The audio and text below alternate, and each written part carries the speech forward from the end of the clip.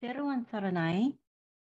Welcome to our Vap Full Poya uh, Dhamma session. Heartfelt good wishes to all of you. And on this Uposatha day.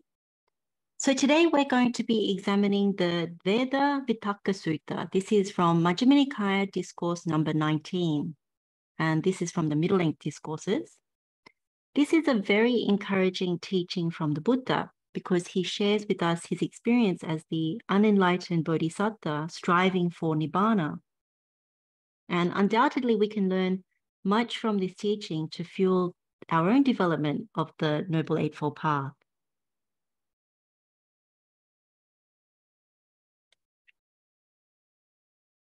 So, what we're going to cover today is we'll go through our tips and reminders, then we'll introduce this sutta, looking at the sutta architecture and why we really want to study this, this sutta, how we can make the most of it.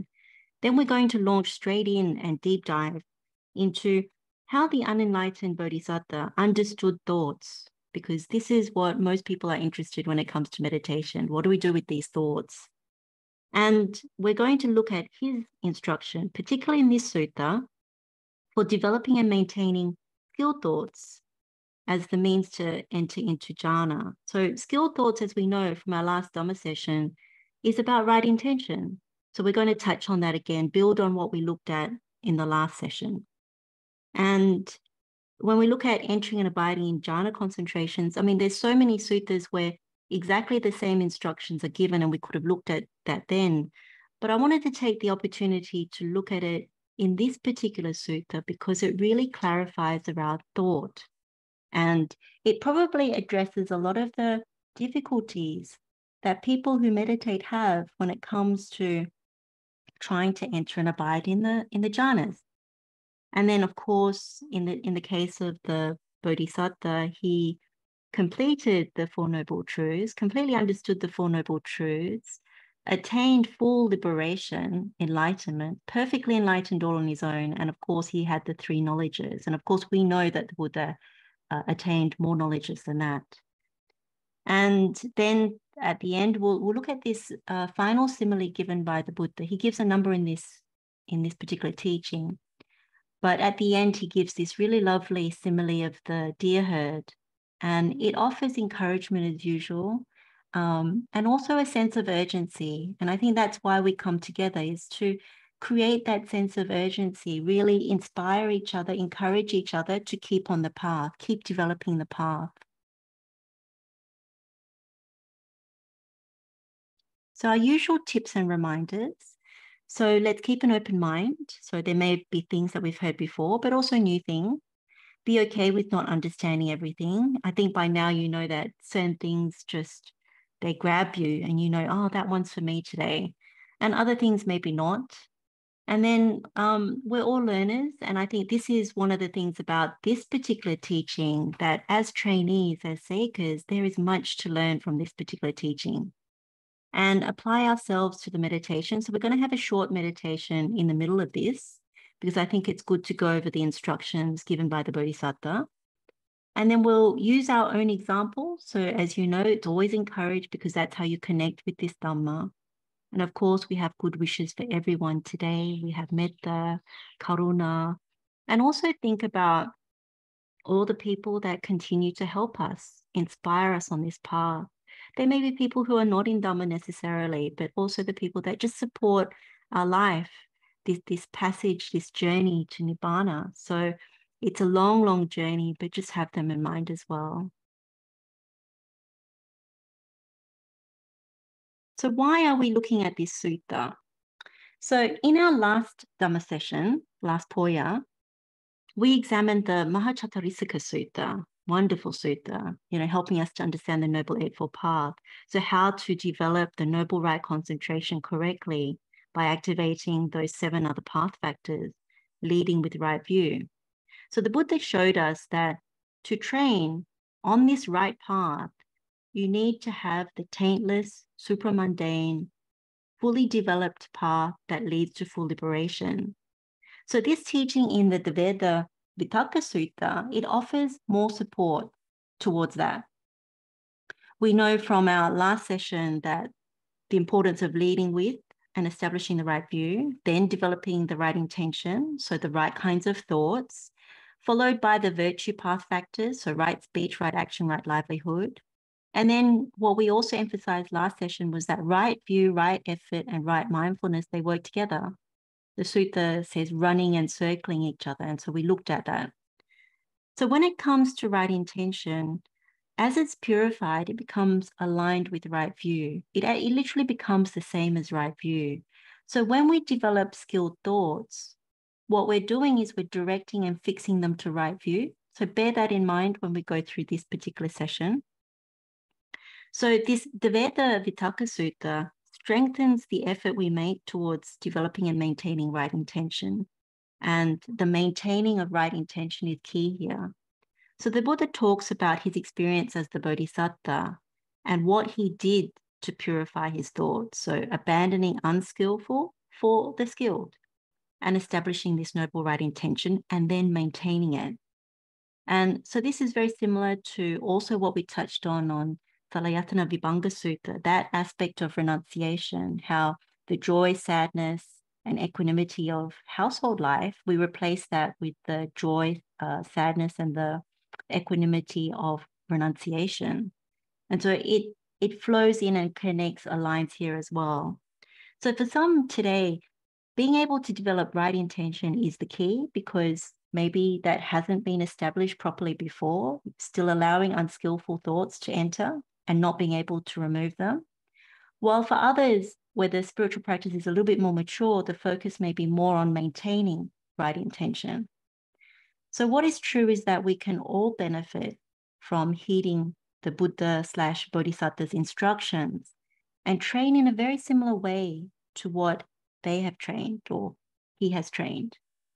So, that's what we're going to work through in this session. And when it comes to meditation, there is a mis- misconception that it's solely about stopping our thoughts, that um, it's all thoughts.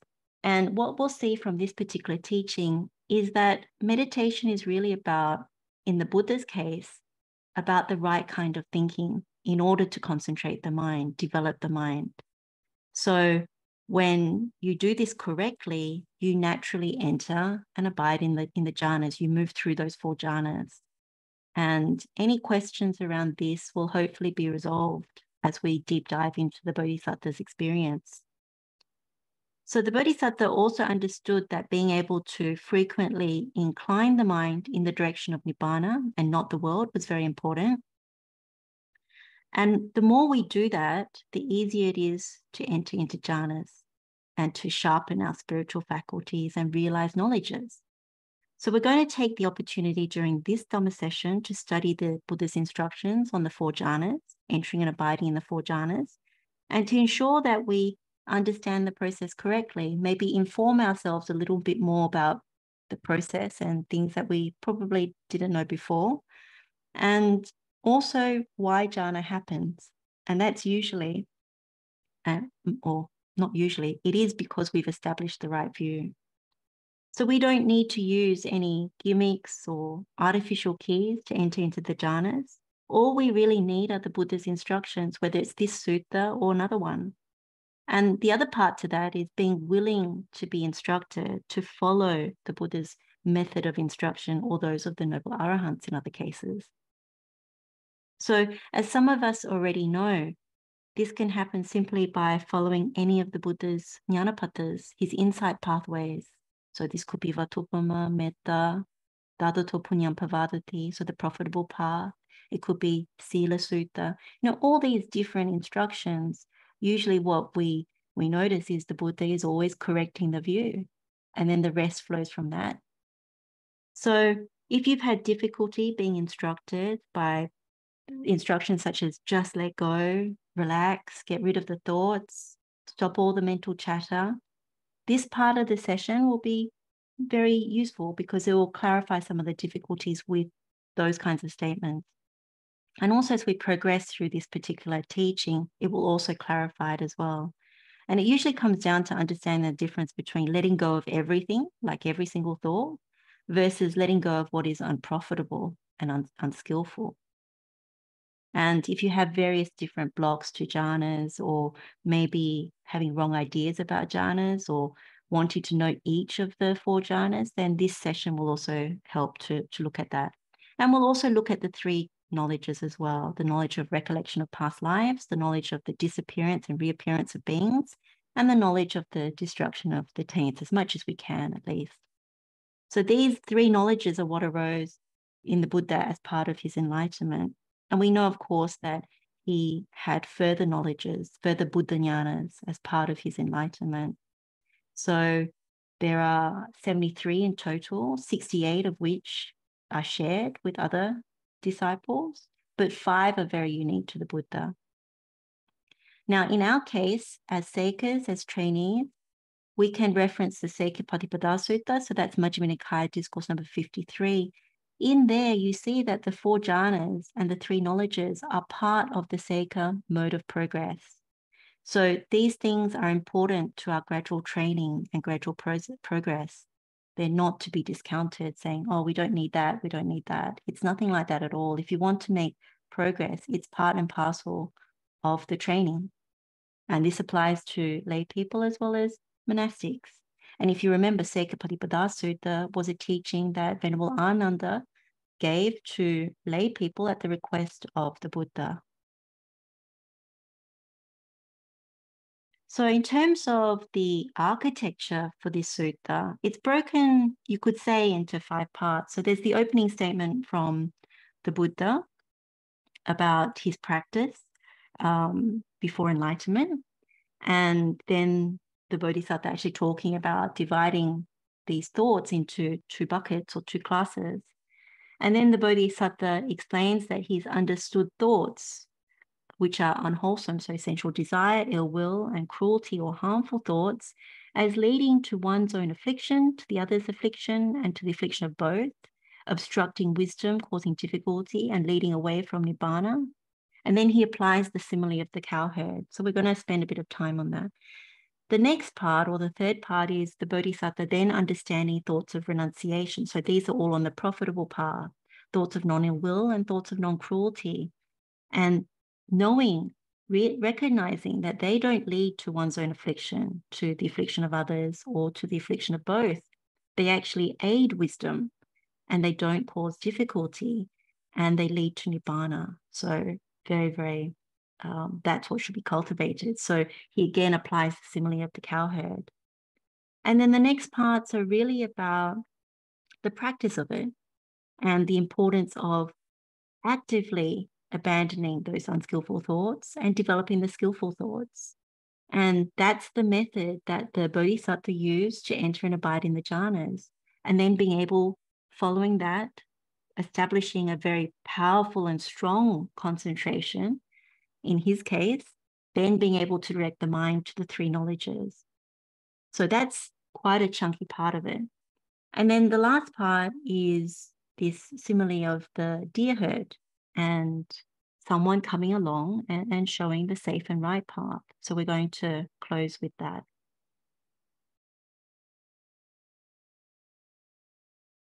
So let's go straight in.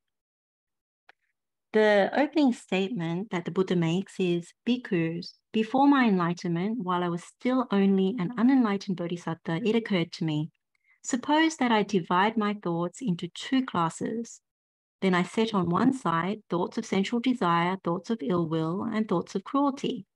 And I set on the other side thoughts of renunciation, thoughts of non ill will, and thoughts of non cruelty or non harming. So the Buddha is giving us an account of what occurred to him before his enlightenment. So he is the unenlightened bodhisattva. And he understood that these thoughts fell into two classes or two buckets. In one bucket, there were sensual thoughts, ill will thoughts, and cruel thoughts. In another bucket, there were thoughts of renunciation, thoughts of non ill will or goodwill, if you will, and non cruelty, non harming. So that's a very important statement because clearly he has made the distinction between the different kinds of thoughts. On one hand, unskilled thoughts, on another hand, skilled thoughts. So we have to do the same thing.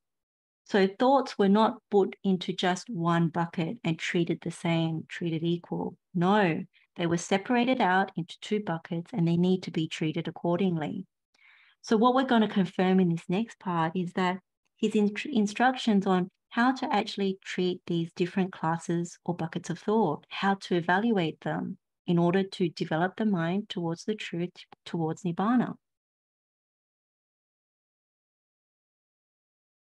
So the Buddha goes on to state, as I abided thus, when in actual fact this was the Bodhisattva, as I abided thus, diligent, ardent, and resolute, a thought of sensual desire arose in me. I understood thus. This thought of sensual desire has arisen in me. This leads to my own affliction, to others' affliction, and to the affliction of both. It obstructs wisdom, causes difficulties, and leads away from Nibbana. When I considered this, when I considered this leads to my own affliction, it subsided in me. When I considered this leads to others' affliction, it subsided in me. When I considered this leads to the affliction of both, it subsided in me. When I considered this obstructs wisdom, causes difficulties, and leads away from Nibbana, it subsided in me. Whenever a thought of sensual desire arose in me, I abandoned it, removed it, did away with it. And then he goes through and says the same thing for thoughts of ill will, and also thoughts of cruelty. So, the essence of this is around the unenlightened Bodhisattva's account of how he discerned or classified the class of unprofitable or unskilled thoughts when he was still developing the mind towards Nibbana. So, first he says, while he abided diligent, ardent, and resolute. So, diligent is appamattasa. So, that's vigilant. That's also vigilant. Ardent, uh, the Pali word is atapi, which also means active. So he's actively looking at this. And then pahitatasa is resolute. So he has a strong resolution about what he needs to do. So then he was observing these, these thoughts. So kama vitakka, thoughts of sensuality, vyapada vitakka, thoughts of ill will, and vihinsa vitakka, thoughts of cruelty. So the second thing was he understood that these unskilled thoughts lead to affliction or harm. And the Pali word there is biyabada. And this also translates not just as affliction or harm, but evil, wrong, hurt. And so this was directed at himself. So atta, biyabada, to others, para, biyabada, and to both, ubaya, biyabada. And then the next part was these unskilled thoughts, they block wisdom, cause problems in the mind, and steer steer him away from nibbana. So, in essence, this is everything that is going against the path that he wants. It means he's still caught in the world, caught in samsara. We can relate to that. So, thirdly, he then recognizes when he contemplates in that way by going through about the harm, the blocks to wisdom, causing difficulties, and leading away from Nibbana, then he realizes that these thoughts are abandoned, they're removed, they're done away with when he does that contemplation. So, what we can understand from this is the importance of being able to recognize and discern, particularly in our meditation when unskilled thoughts arise, and it's not about ignoring these thoughts, it's actually dealing with them in this way, as, as the Bodhisattva has said. So we need to understand that in order to perfectly enlighten, um, the Buddha has actually done this. He's actually actively done this.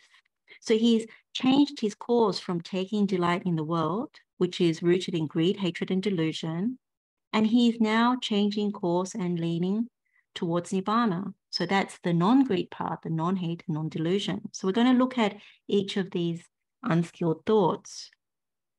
So we always talk about uh, kama vitakka, vyapada vitakka, and vihinsa vitakka. But it's very important because I think sometimes we still indulge. If we're honest, we still indulge in these thoughts. We allow them to come unless our meditation is very strong, unless unless our, our saddha is very strong and we apply very strongly to the meditation, then sometimes we can indulge in these thoughts, particularly if outside of meditation we've been busy and and doing various things.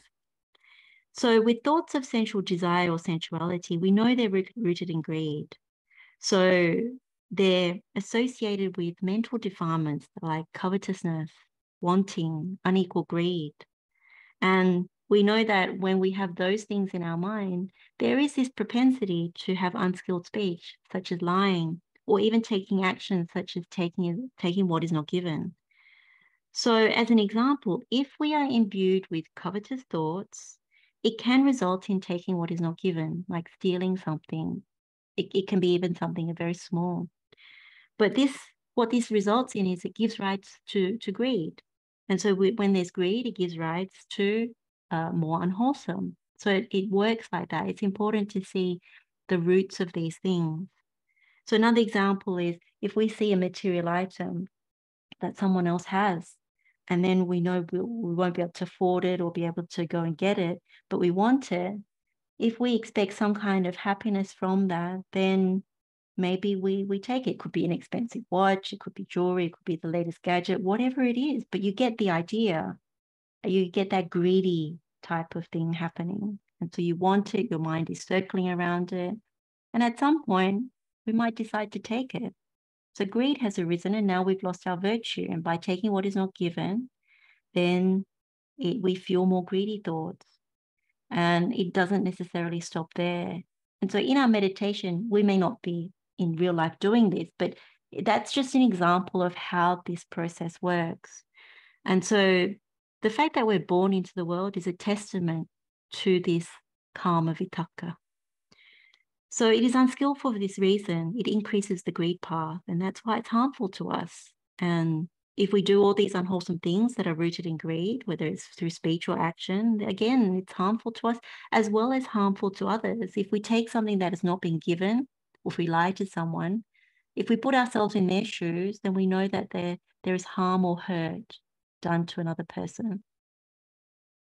Now, what we also remember with sensual desire is that it's a hindrance. And so there are many teachings from the Buddha and the Noble Arahants about the danger in sensual pleasures. The simile that the Buddha uses normally for the hindrance of sensual desire is debt. So you, you can see that in the Maha Sutta. When you view it as debt in the mind, we stay debt bound to greed.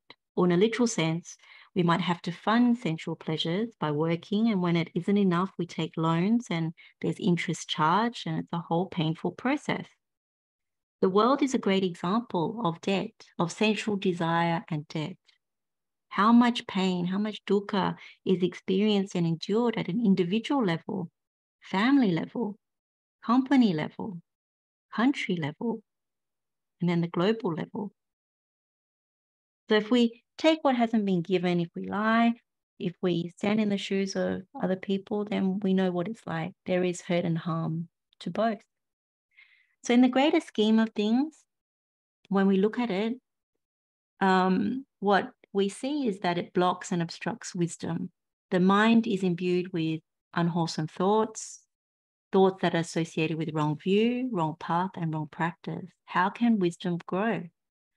This thought itself is alarming because the Buddha's path is a wisdom path. So if we block wisdom, it's terrible for us. Instead, what grows is ignorance, and the mind is unsettled, difficult to tame, and we remain far away from the non greed path, which is what is leading to Nibbana. Then, when it comes to thoughts of ill will, these are rooted in hatred.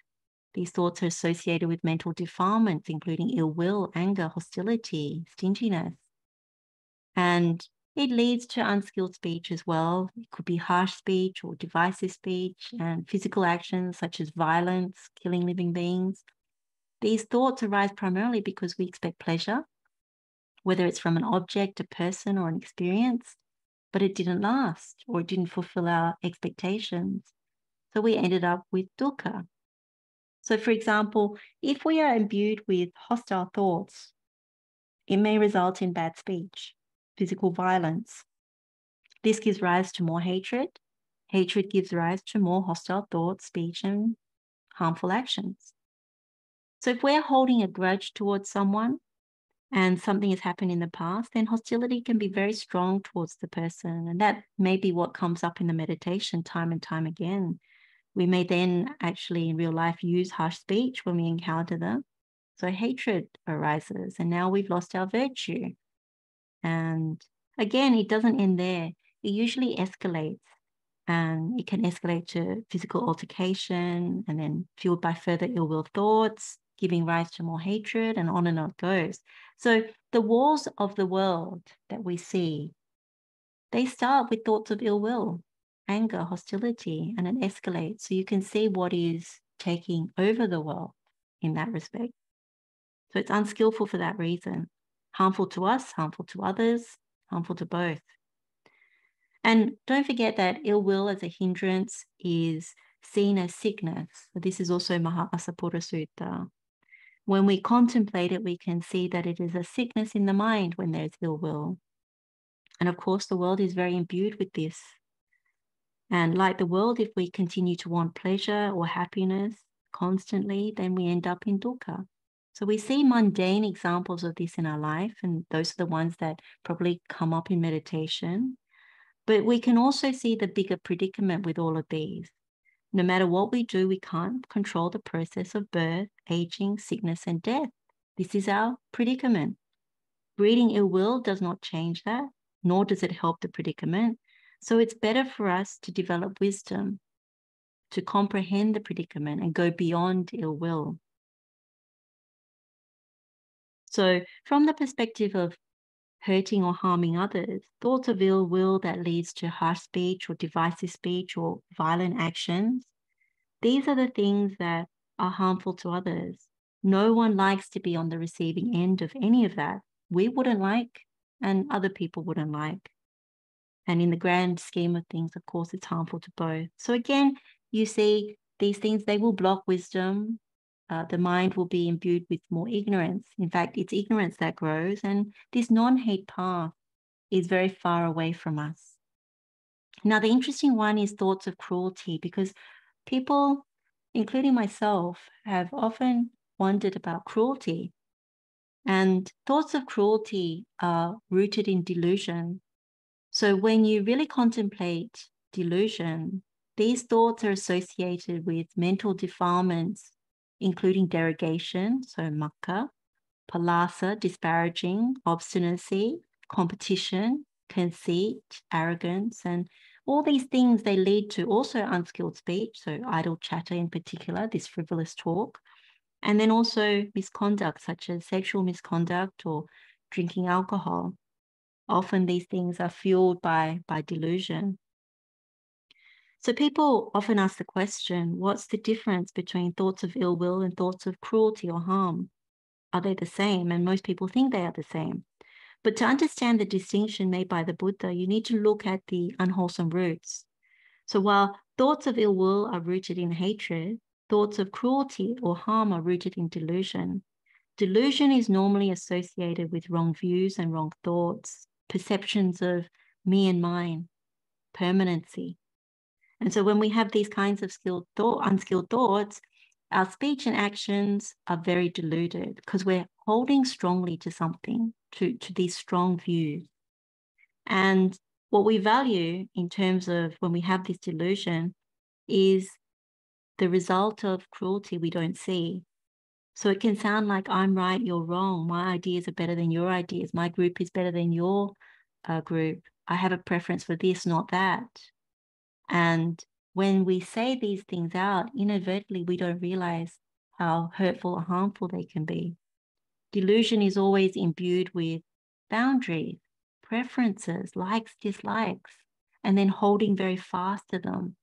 And then they inevitably hurt others.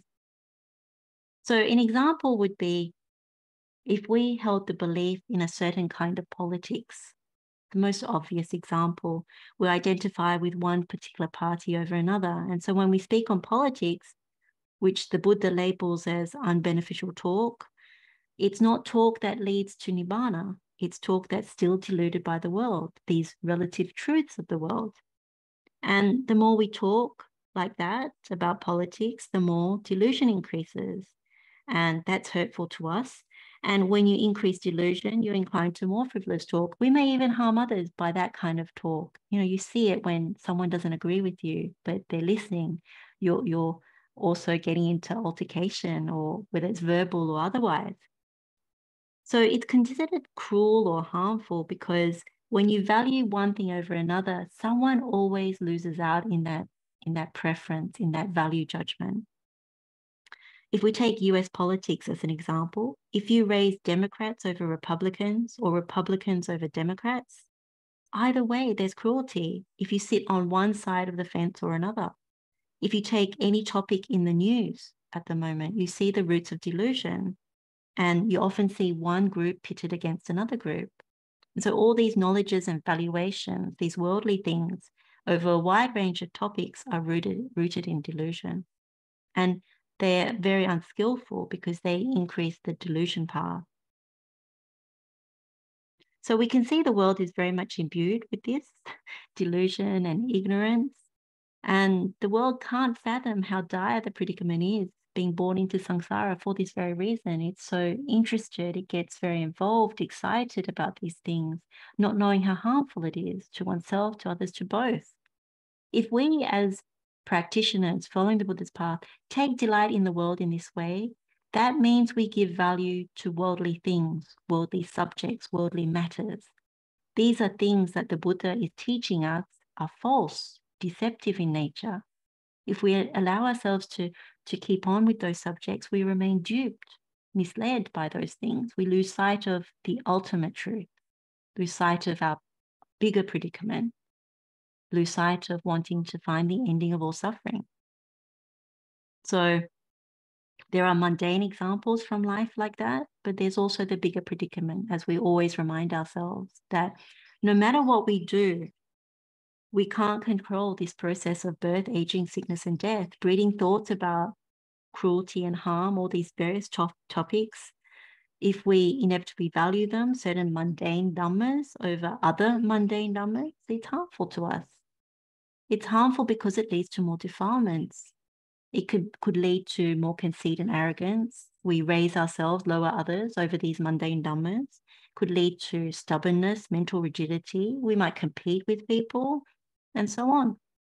They reinforce at their root the sense of me and mine, what I know, what I like, what I think, and also a sense of permanency. We fix people and things to what we think is true, these relative mundane numbers. But in actual fact, we get further duped, trapped, and blocked. You know, our wisdom suffers. It, it doesn't change or help the predicament. So it's better for us to develop the wisdom that Buddha talks about, the wisdom of the path leading to Nibbana, than to try and figure out all these things. And from this perspective of harming others, none of the things, if we were to allow frivolous talk on, on all these unbeneficial topics, none of it leads to Nibbana. So we end up misleading other people. If you're someone that wants to present a good example in terms of being able to renunciate the world, then you don't want to be presenting this bad example of being so interested in deluded topics. And knowingly or unknowingly, if you if if we end up doing that, then what happens is we are encouraging indirectly people to stay stuck in samsara. And indulging in such talk normally also goes along with indulging in alcohol. Alcohol loosens the lips in order to indulge in that kind of talk, and it goes in a circular kind of way as well. When we listen and get involved in such talk, sometimes it doesn't register as harmful because that's the convention, that's the norm, that's how we've been conditioned from birth when we uh, start to chat with people. So there may really genuinely be delight in such talk. But when the spiritual path starts to develop, we really start to see the link to delusion, the link to ignorance. And so when you start to refrain from it, you start to really see the meditation, the development of the mind uh, start to accelerate. And one thing, one obvious thing you notice is if you indulge in a lot of that kind of talk, that's what reverberates in the mind. And that's what is difficult to purify the, the mind of. And so when you start refraining, it just makes the, the job easier in terms of developing the concentration. The other important part to this is if we raise worldly ideas above Nibbana, that's makkha of Nibbana, that's belittling Nibbana. And that, of course, is very harmful to ourselves and to others if we, if we are doing that. So the important thing is to recognize that and then decide I'm not going to do that. I'm not going to belittle nibbana. And the reason also why it belittles it is because we start to forget the predicament. We forget that birth is suffering, aging is suffering, sickness is suffering, death is suffering, and so on. We forget to arouse the sense of urgency. And we get fully absorbed into politics, celebrity, uh, all kinds of material things, and all these various topics in the world. So if one has insight and you don't want to belittle nibbana, then what you need to do is is refrain. And so that becomes very very clear. And if you have a very strong intention for liberation then you don't want to block wisdom. You don't want to do that. And so in the greater scheme of things um, you start to it really starts to come together that these types of things are actually really bad from for uh, ruining the right view because you start to lose that and you start to grab onto wrong view. And so therefore you just say, oh, I don't want to do that. And I don't want to grow the ignorance. I want to, to grow the wisdom. And I don't want to be far away from the non-delusion path if I cultivate those thoughts. So all three kinds of unskilled thoughts, thoughts of sensual desire, ill will, and cruelty, the Buddha is actually really saying that they're harmful. And if you deeply contemplate that, you really do see it. And the fact that it blocks wisdom, the word that the in Pali is panya nirodhiko, and nirodhika or nirodhiko, it means obstructs, but it can also mean destroy. So when you have this idea that you're destroying your own wisdom, you feel awful. You think, I don't, I really don't want to do this. So I'm really going to to um, drop drop those kinds of thoughts. It's actually very powerful. And then causing difficulties, vighata, pakkhiko. So vighata is also destructive, distress, annoyance, trouble. So really, we're creating trouble for ourselves with these kinds of thoughts. And the other part of it is we remain duped by samsara. That that's the the problem, and there, therefore we're still stuck with the whole mass of suffering. And then the last statement is about leading away from Nibbana. And the Pali is Anibbana Samvattaniko. So that also means not conducive to Nibbana. It makes sense. So it's really important to contemplate each part of that, that we don't want to harm, so ourselves, others, and both. We don't want to block wisdom. We don't want to be troubled or, you know, cause difficulties for ourselves and we don't want to be led away from nibbana. So this is the medicine that's been given for unskilled thoughts to subside. So what I'd like to do is do a short meditation. So on this particular slide, it's exactly what we just went through.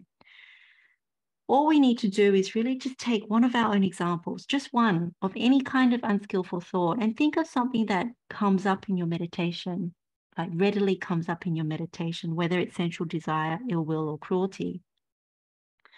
And again, whether it's um, lay householders or monastics, it's always real examples. You know, they're, they're always something there. If it's sensual thoughts, it's about food, people, material objects, receiving gifts, even travel.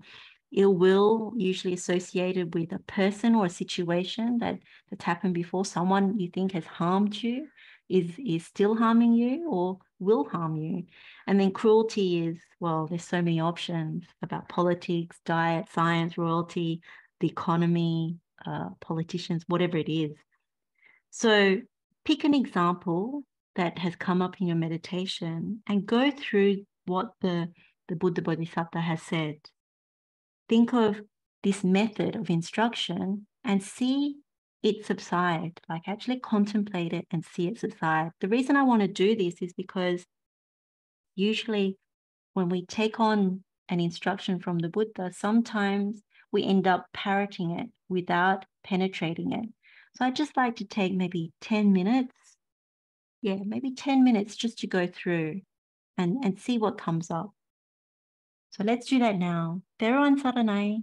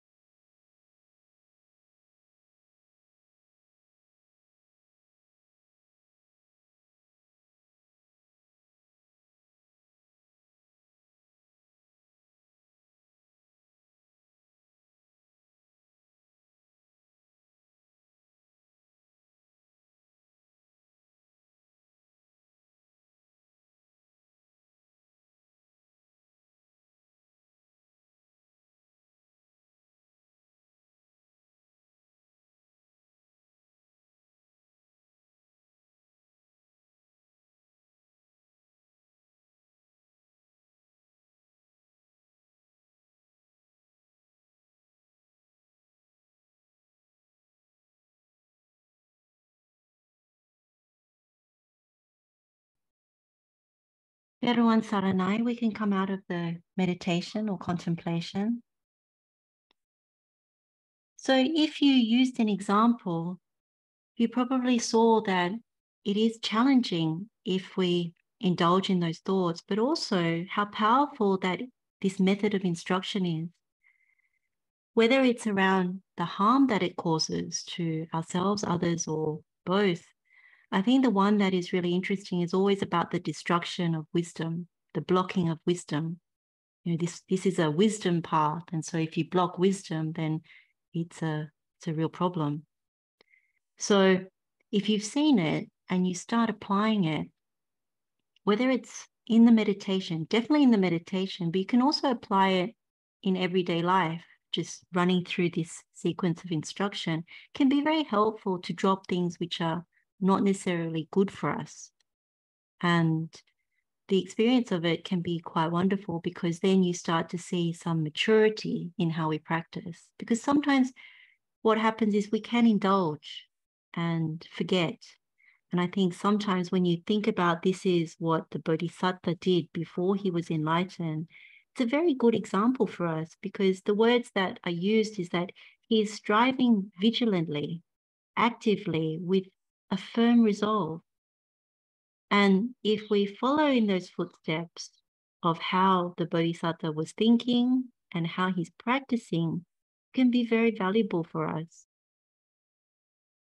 So I encourage to practice this particular aspect of the meditation. So the next part, what said is bhikkhus, whatever bhikkhu frequently thinks and ponders upon, that will become the inclination of his mind. If we frequently thinks and ponders upon thoughts of sensual desire, he has abandoned the thought of renunciation to cultivate the thought of sensual desire. And then his mind inclines to the thoughts of sensual desire. If he frequently thinks and ponders upon thoughts of ill will, upon thoughts of cruelty, all of those things, he has abandoned the thought of non cruelty. So, in many ways, um, it's looking at both or all three different aspects. Then his mind inclines to those thoughts of cruelty. So, essentially, what we what is said here is that if we frequently think about all these unprofitable things, then we've abandoned all the profitable ones.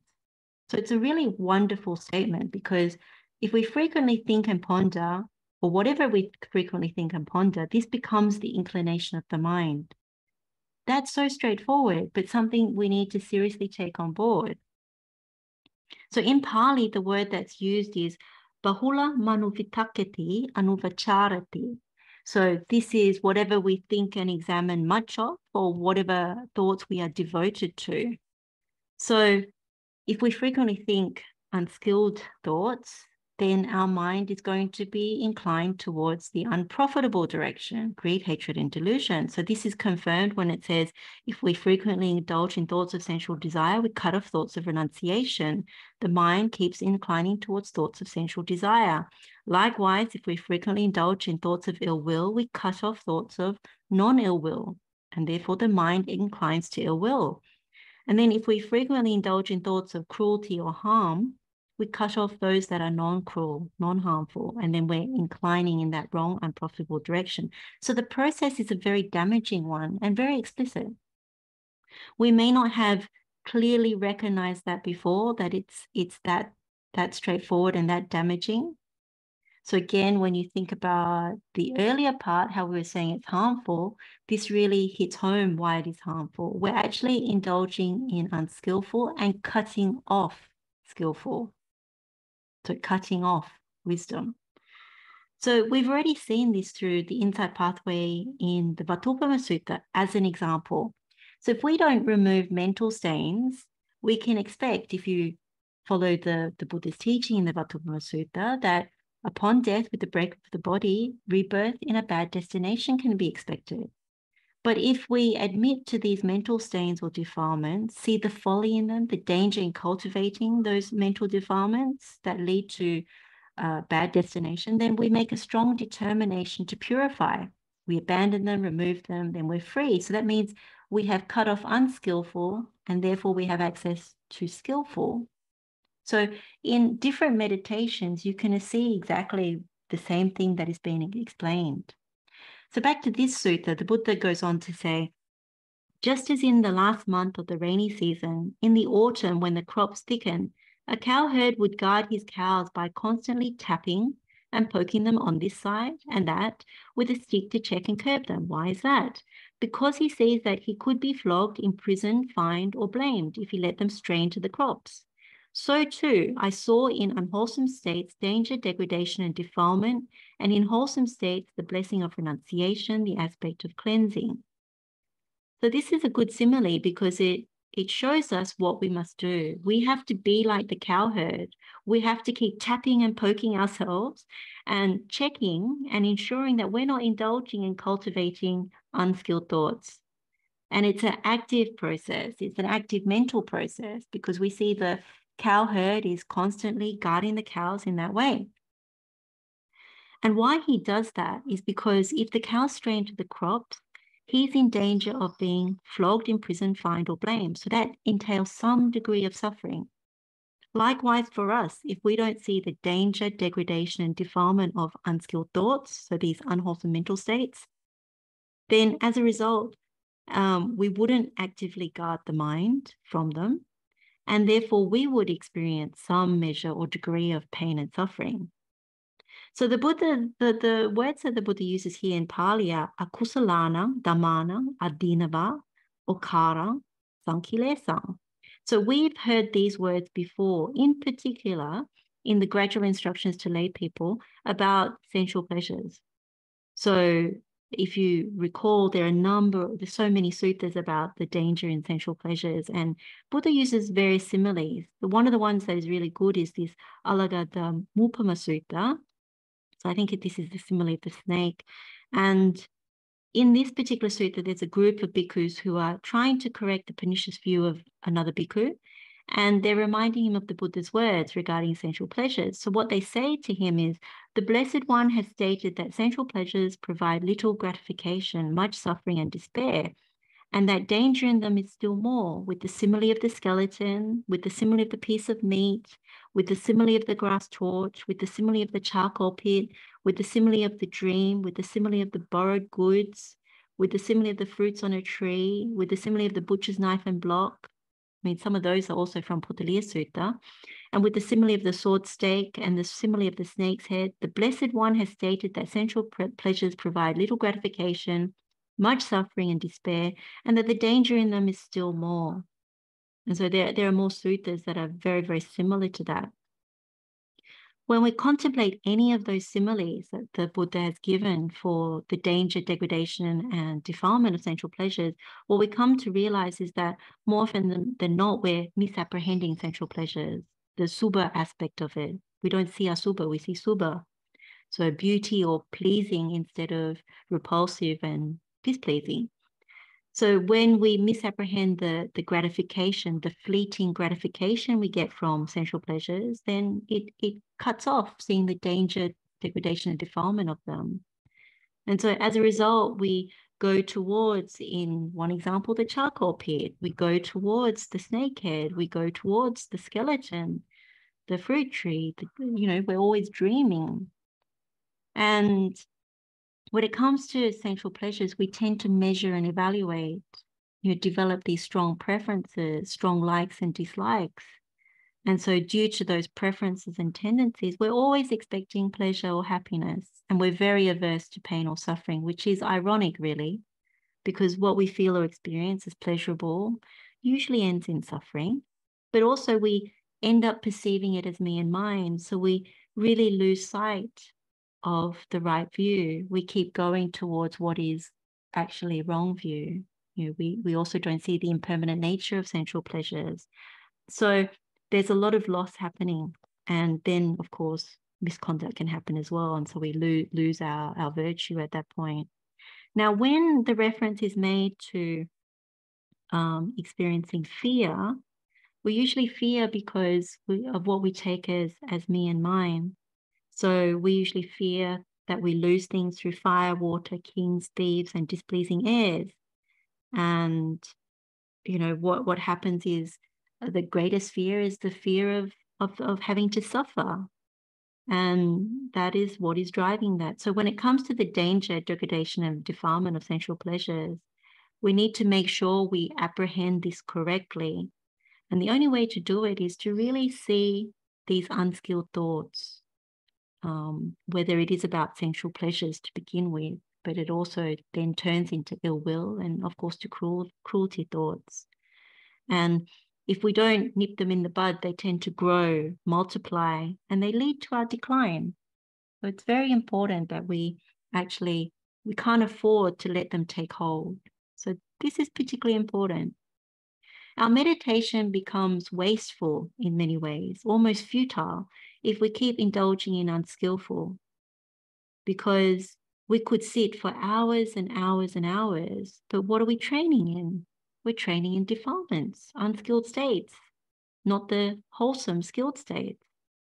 So, what is profitable that leads to liberation is what is important. But if we haven't removed some of these unskilled states, then we're actually practicing what is unprofitable. So, that's something to have a strong reminder about to actually be able to nip it in the bud. Now, back to the Dvedhavitakka Sutta, it then says, As I abided thus, diligent, ardent, and resolute, a thought of renunciation arose in me. I understood thus. This thought of renunciation has arisen in me. This does not lead to my own affliction, or to others' affliction, or to the affliction of both. It aids wisdom, does not cause difficulties, and leads to nibbana. If I think and ponder upon this thought, even for a night, even for a day, even for a night and day, I see nothing to fear from it. But with excessive thinking and pondering, I might tire my body. And when the body is tired, the mind becomes strained. And when the mind is strained, it is far from concentration. So I steadied my mind internally, quieted it, brought it to singleness, and concentrated it. Why is that? So that my mind should not be strained. And then it goes on to say the same for thoughts of non ill will and, of course, thoughts of non cruelty. So, what we see now from the Bodhisattva's meditation is that when thoughts of sensual desire are abandoned, thoughts of renunciation arise. He understood that this is non harmful. So, before we saw, saw that sensual desire, ill thinking, and cruelty thinking, they're all harmful to himself, to others, and to both. But when these profitable, skillful thoughts arise, they're non harmful. So when thoughts of renunciation arise, they aid wisdom. So in, in many ways, this is blocking the ignorance. And they don't cause difficulties and they lead to nibbana. And then the same understanding for thoughts of non-ill will and thoughts of non-cruelty. So when the Buddha, when the Bodhisattva says he sees nothing to fear from thoughts of renunciation, non-ill will, and non-cruelty, it's because he's inclining towards abandoning craving in his meditation. So he's getting rid of craving for sensual pleasures, existence and non-existence. You know, we know that craving is the origin of suffering. So if craving is abandoned, we're experiencing cessation of suffering. Fear and suffering are synonymous. So our greatest fear is suffering. And so when we have the cessation of suffering, there's nothing to fear. So that's what he means by that. Another way of looking at it is with the thoughts of renunciation, he's abandoned thoughts of sensual desire. So he doesn't expect pleasure. And he's not taking anything as me and mine. If you're not taking anything as me and mine, you don't go the wrong way with fear. So you remember that from the the mano sanchetana hara, mental volition as nutriment. If you if you're not taking it as me and mine because you're not seeking the pleasure, then you don't develop that wrong view and you don't go the wrong way. By agati, you don't go that way. So when you have the right view, then there's no fear. So when the Bodhisattva says, but with excessive thinking and pondering, I might tire my body. And when my body is tired, the mind becomes strained. And when my mind is strained, it is far from concentration. His reference is being able to abide in a skilled state without any unskilled states and using that method uh, that we've been going through for a long time. However, generating that type of thinking and pondering in excess, it tires out the body, it strains the mind. And so it makes it difficult to concentrate. And so to overcome this, what we'll see is that the Bodhisattva then steadies his mind internally, quieted, quieted it, brought it to singleness and concentrated it. So here we see that he's talking about entering and abiding in jhanas. And we're going to discuss that in a short little while. Uh, but we'll just finish off this section first. So the next bit is bhikkhus, whatever bhikkhu frequently thinks and ponders upon, that will become the inclination of his mind. If he frequently thinks and ponders upon thoughts of renunciation, he has abandoned the thought of sensual desire to cultivate the thought of renunciation, and then his mind inclines to the thoughts of renunciation. then it says the same thing for non ill will and the same for non cruelty. You end up abandoning the thoughts of ill will and the thoughts of cruelty. And so your mind is inclining towards the thoughts of non ill will and the thoughts of non cruelty as well. So, this is again the same wonderful statement that it's correcting our view, being able to see that that we're now leaning in the profitable direction. We've cut off the unprofitable, as opposed to earlier when we had cut off the profitable and were staying in in the world, in samsara, in the unprofitable part. So the reference he then gives is again to this same cowherd, but this time he says, just as in the last month of the hot season, when all the crops have been brought inside the villages, a cowherd would guard his cows while staying at the root of a tree or out in the open. Since he needs only to be mindful that the cows are there, so too there was need for me only to be mindful that those states were there. So if we reference what we've learned from the Mahacattarisaka Sutta, we know that the three states, right view, right effort, right mindfulness, they run and circle around each other.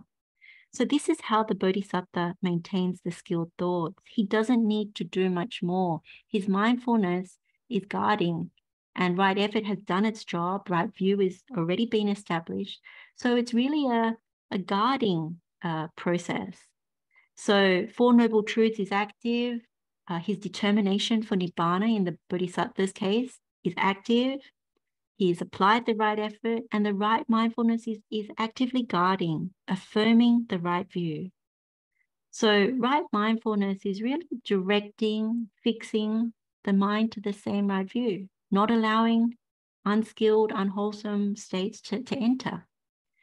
So, if the bodhisattva's mind continues to construct the skilled state, he fixes on it, he mentally directs towards it, and applies himself to it, which is what what he's doing in order to enter into the right concentration. So from Mahacattarisaka Sutta, what's really evident here is that his right intention is at the forefront. You know, so he has the right view, but the right intention is right at the forefront. And so the words for uh, noble right intention, if you remember, is takko vitakko sankapo apana vyapana chetaso abhininiropana vachisankaro. So that translates as thinking or reasoning, thought, intention, mental absorption, or directing one's mind, mental fixity, applying the mind, and verbal formations. So, what the Bodhisattva is training, as we spoke about last Poya, is in this Dvedhavitakka Sutta, he sees unskilled thoughts as harmful obstructing wisdom, causing difficulties, leading away from nibbana. So he's abandoned them and he's developing these skilled ones, which do not harm and they aid wisdom. They actually are very helpful and they lead towards nibbana. So he's fixing onto skilled thoughts. He's fixing his skilled thoughts to the right view. And this also aligns with what we said about the Salayatana Vibhanga Sutta, just to for completeness to, to put that in there as well, is He's about to use the support of renunciant joy, sadness, and equanimity to abandon the household joy, sadness, and equanimity. So, this is the encouragement from the Buddha Bodhisattva to enter and remain in the higher concentrations that come as a result of solitude from sensual pleasures, solitude from unwholesome states.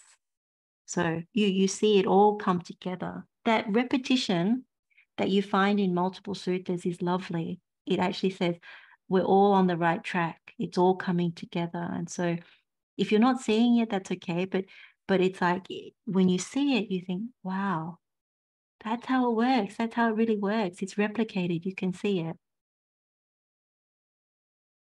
So let's now go into the jhanas, the four jhanas. So this next section is really around the process that the Bodhisattva uses to enter into jhana. And then builds on what we've just been through with, with skilled thoughts as opposed to unskilled thoughts. And what we'll read out is really that this is the standard method that you see across many, many suttas. Now, we'll begin with the first paragraph, which says, Tireless energy was aroused in me. So, this is the Bodhisattva. An unremitting mindfulness was established. My body was tranquil and untroubled. My mind concentrated and unified. So, aradang ko paname bikawe viryang ahosi asalinang apita apatita sati asamutta pasado kayo asarado samahitang chitang ekagang. So what that says is that there's active energy aroused by the bodhisattva. That's what we, we've read out in English and in Pali.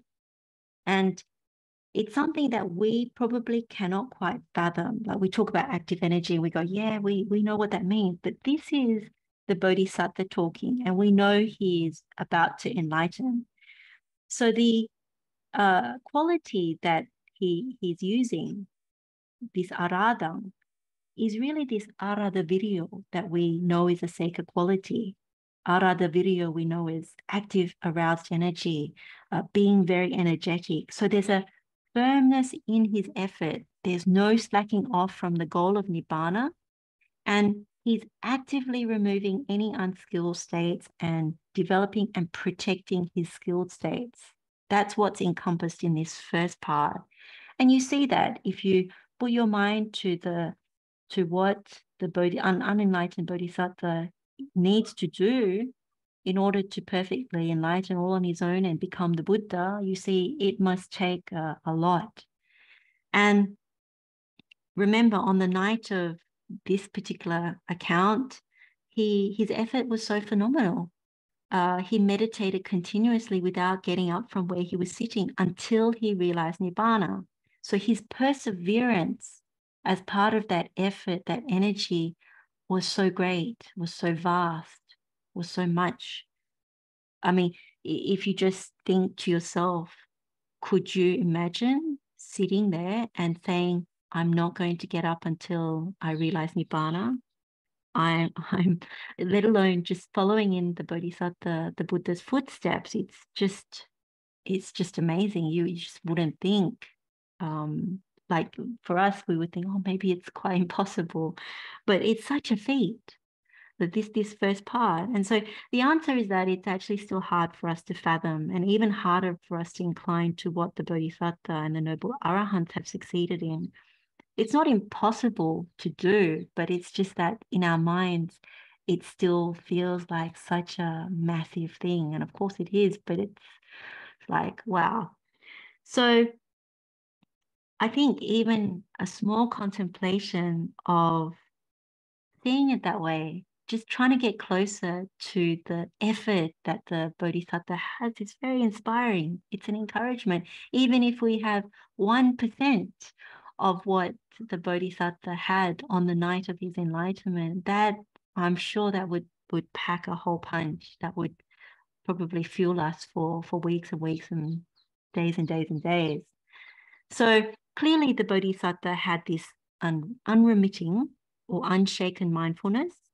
Now, that was established for him. He had his active guard on duty that was in place, and there was no no room for him to have any sluggishness, forgetfulness, confusion, all those things that usually come, very similar to sloth and torpor, all that. None of that was there. Only clarity, lucidity, and and sharp alertness, I would say. So as he removed, as he moved through the jhanas, his body became tranquil, at ease, and untroubled. You know, asarado means undisturbed, undisturbed. It could also mean cool, so not warm or, or not excited. So it's quite calm and quite contained. And so then the Bodhisattva goes on to explain the jhanas. So we'll go bit by bit. I won't read out the whole lot. I'll, I'll go bit by bit. The first part is quite secluded from sensual pleasures, secluded from unwholesome states. I entered upon and abided in the first jhana which is accompanied by applied and sustained thought with rapture and pleasure born of seclusion. So this very much sounds like what we know of Adhicitta Sikkha, the higher training and concentration. All those component parts are there. You're secluded from sensual pleasures, secluded from unwholesome states, and then you go through the jhanas. Now, before we get into that, it's good to point out that if, as part of your practice, you cultivate generosity, cultivate virtue, then it also plays a part that is very helpful towards developing jhana. So, if you've been generous and you've kept good virtue by body, speech, and mind, that's a very good foundation for developing the mind. You need that. Otherwise, you get kicked out of jhana or you find it very difficult um, as a process of developing the mind because you know the the misconduct is what needs to be purified.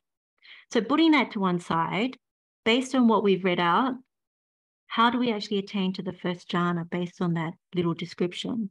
So we start with savitakka savichara. So this is translated here as applied and sustained thought so vitakka can be translated as thinking reflecting initial application and of course this applied thought it has the characteristic of fixity, so fixing to an object or something of that nature and steadying on it. And vichara, this is translated as investigation, examination, consideration, deliberation, or sustained application, as well as this sustained thought. So the characteristic for vichara is very much about movement, so for ease of explaining during this session, I think I'll simply use thinking and examining for Vitakka and Vichara. I find it easier just to use those terms. So the Petakopadesa, the Pitaka disclosure is really good because it gives some similes to help us to understanding this process of Vitakka Vichara, thinking and examining.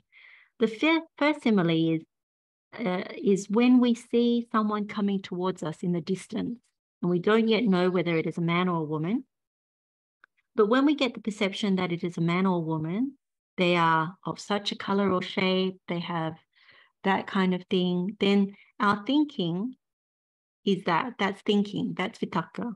As we are thinking, we then scrutinize a bit more. We go back to the object and we try and figure out is this man or woman virtuous or unvirtuous? Are they rich or poor? You know, what are the other signs and features we can glean by examining?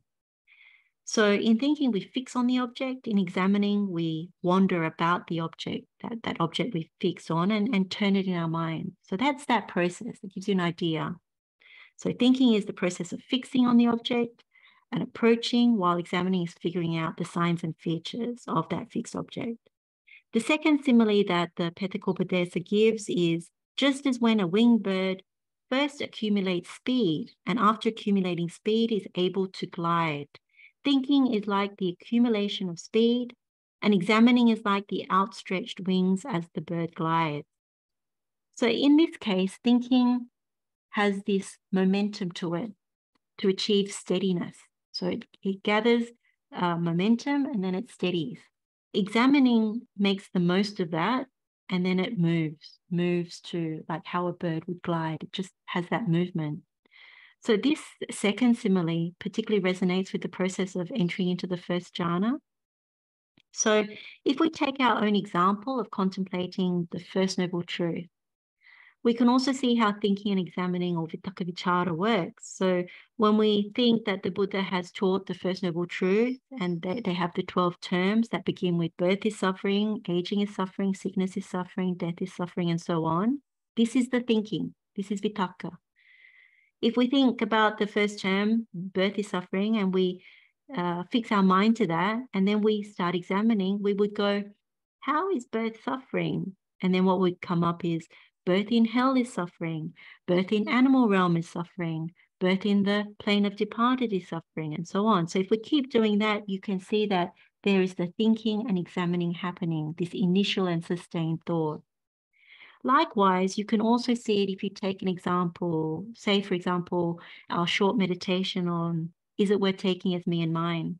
So we think about the instructions for the meditation, which is if it is impermanent, suffering, and subject to change, is it worth taking as me and mine? That's the thinking. The exploring comes in when we contemplate what is impermanent.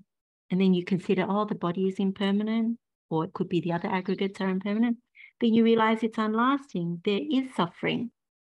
And then Is it subject to change? Well, of course, the body ages, it ripens. So, yes, it's subject to change. So, yes, it is impermanent, suffering, and subject to change. Therefore, it is not worth taking as me and mine. That's the contemplation. But you can see that vitakka vichara is happening. So, if we take that contemplation further of coming back as a baby, the outcome is still the same when we do the vitakka vichara. Wrong view is being replaced with right view, right intention, these thoughts are aligned with right view. So we have the thinking and examining in most of these teachings that the Buddha gives. Any of these uh, um, sutta meditations that we do, they all help us, as we know, to enter into jhana. So that's that's good. That's the, we know how we do it. We know why we we don't think there's too many problems with entering into jhana. So if we apply this to this sutta that we're looking at today, this Dvedhavitakka Sutta, then the contemplation that the Bodhisattva used is also the same thinking and examining in order to develop the profitable path. He's thinking thoughts of renunciation, you know, fulfilling non-greed. And when he does that, he's secluded from sensual pleasure. He's thinking thoughts of non-ill will and fulfills non-hate and then thinking thoughts of non cruelty or the non harm, and that fulfills the non delusion. And so when you have the thoughts of non ill will and non cruelty, you're secluded from wholesome states. We are not giving any attention to unprofitable in that case. You're giving up the sensual desire thinking, the ill will thinking, the cruelty thinking.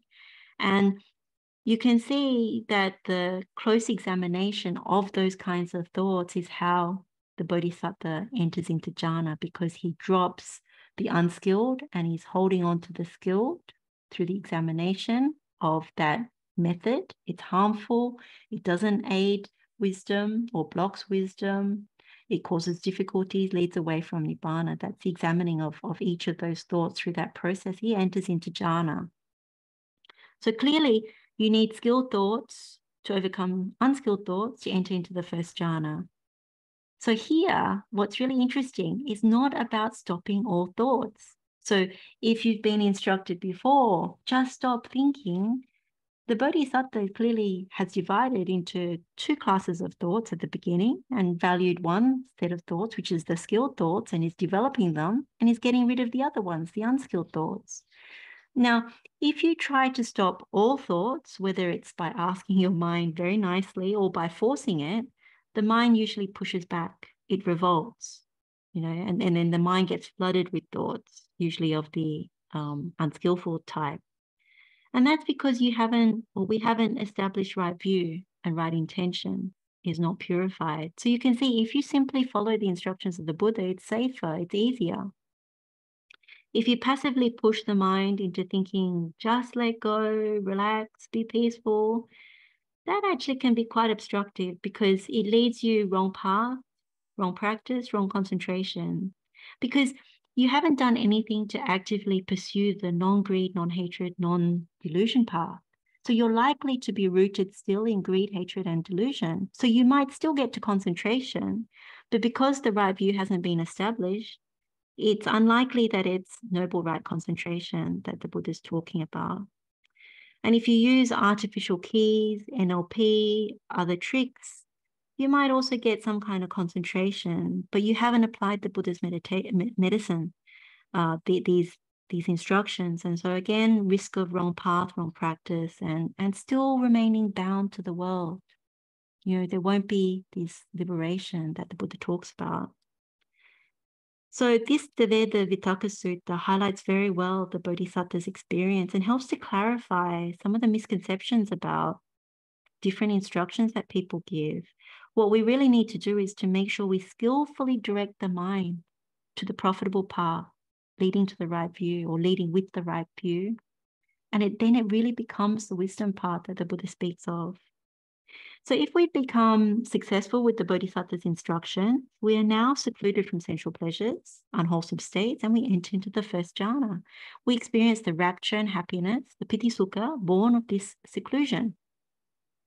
As the Bodhisattva says, whatever we frequently think and ponder upon, that will become the inclination of the mind. So in this case, we've been thinking and pondering on skilled states. So renunciation, non ill will, non cruelty. So we're inclining towards towards all of that, inclining towards nibbana.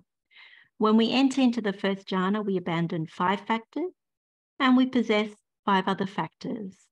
So th- this has been explained actually in Mahavedalla Sutta. So that's Majjhima Nikaya discourse number 43, as well as also in the Petakopadesa. When Venerable Mahakotthita asked Venerable Sariputta, friend, how many factors are abandoned in the first jhana and how many factors are possessed? And Venerable Sariputta answers, friend, in the first jhana, five factors are abandoned and five factors are possessed. And then he says, here, when a bhikkhu has entered into the first jhana, sensual desire is abandoned, ill will is abandoned, sloth and torpor are, ab- are abandoned, and restlessness and remorse are abandoned, and doubt is abandoned. And there occur applied thought, sustained thought. So, this is the thinking and examining, rapture, pleasure, and unification of mind. This is how, in the first jhana, five factors are abandoned and five factors are possessed. So when we enter into the first jhana, we abandon the five hindrances. So those, if you remember from the Avijja Sutta, are the nutriment for ignorance. So this is wonderful. We're no longer feeding ignorance, fueling ignorance.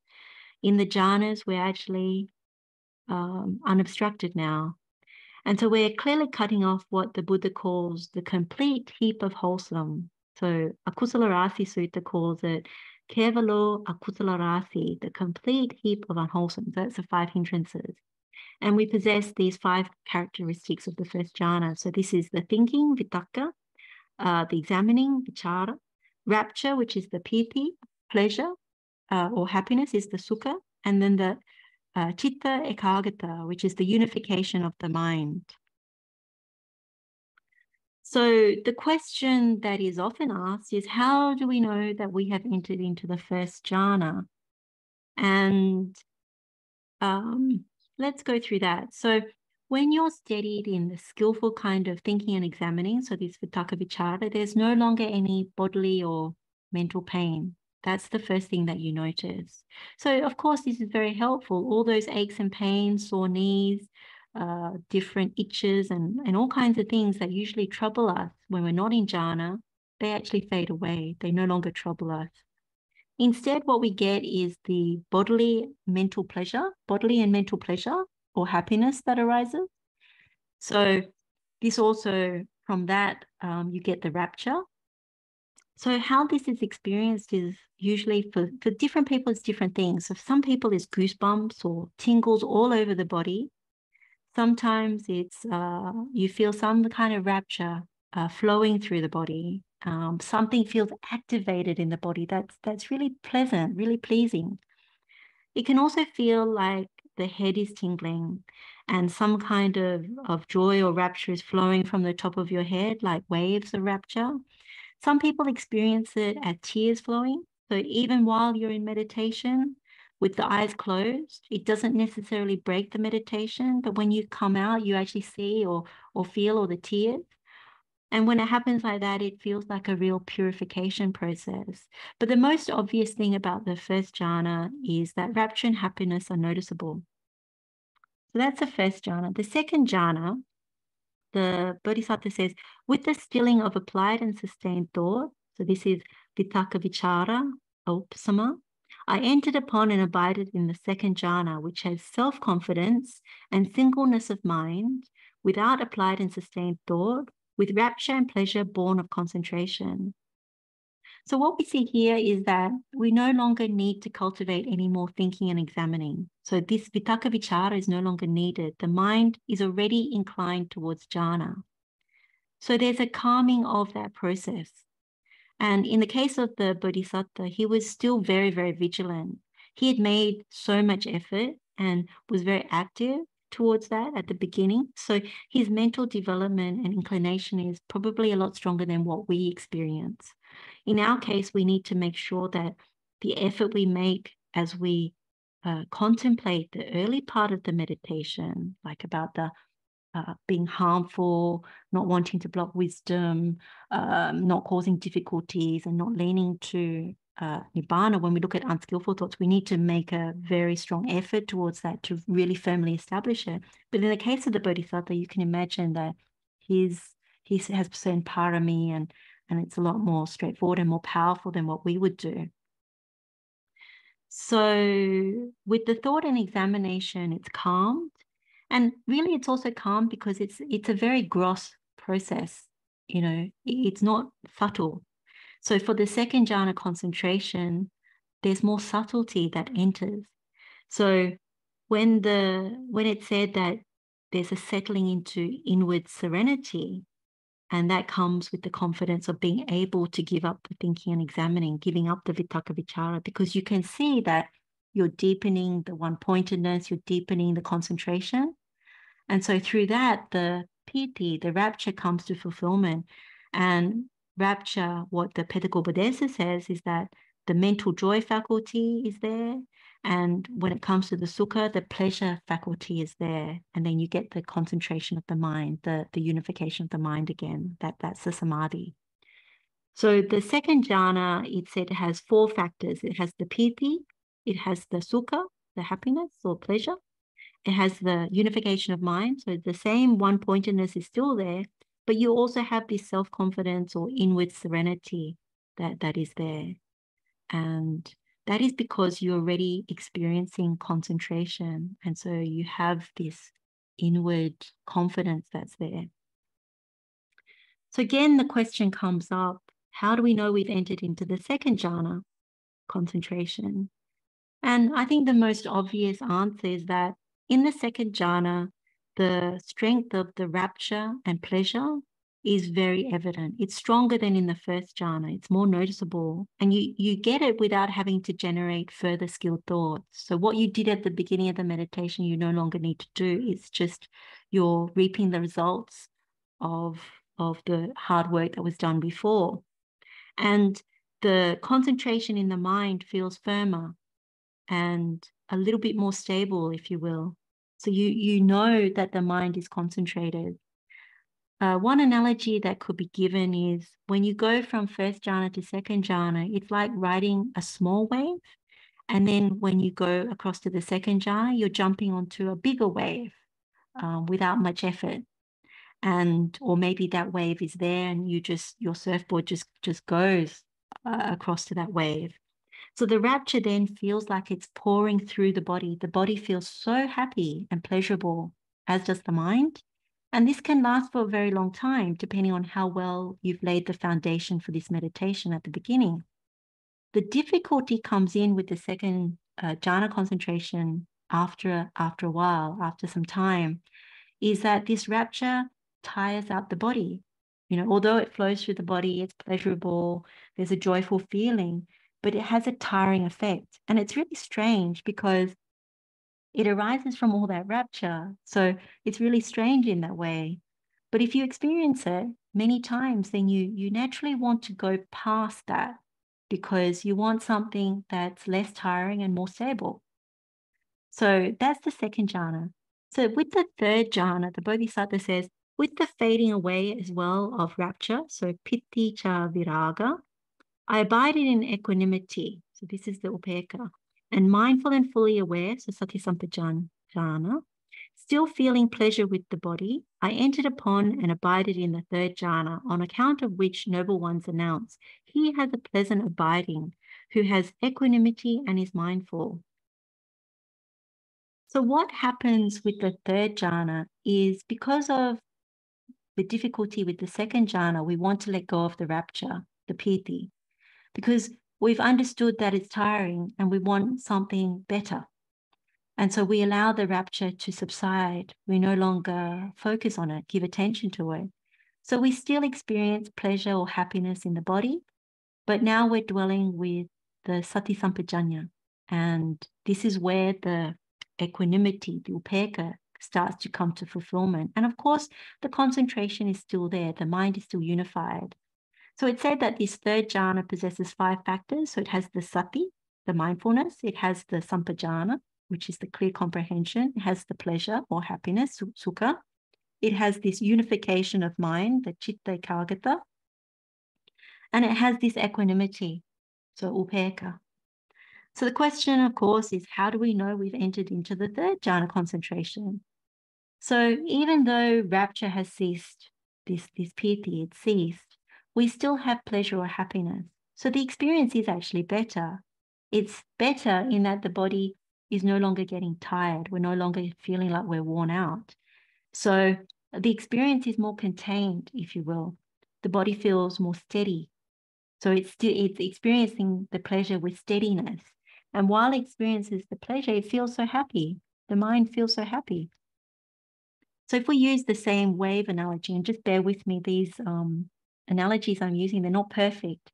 But if you get off the big wave that we spoke of in the second jhana, and say you're experiencing so much happiness riding just another wave without having to manage the peaks of the big wave. It's something like that. So, the difficulty that we have arising out of the third jhana is that when the pleasure ceases, you get pain. And then when the pain ceases, you get pleasure, and on like that. That's how pleasure works, actually.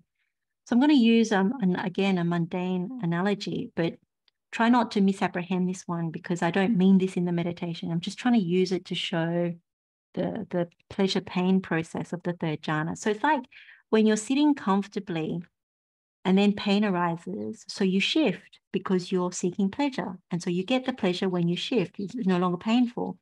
But after a while, it gets painful again. Then you have to shift to get the pleasure. So that's not happening in the meditation. You don't need to shift like that. That's not what I'm saying. But I'm saying in the jhana, that process of pleasure, pain happens like that at a mental level. So, third jhana, what you see is it's still unstable. It's still fluctuating in this respect. And so, you want to go to something better. And so, that's how you move to the fourth jhana. So, the Bodhisattva then goes on to say, with the abandoning of pleasure and pain, and with the previous with the previous disappearance of joy and sadness, I entered upon and abided in the fourth jhana, which has neither pain nor pleasure, and purity of mindfulness due to equanimity. So, what does this mean?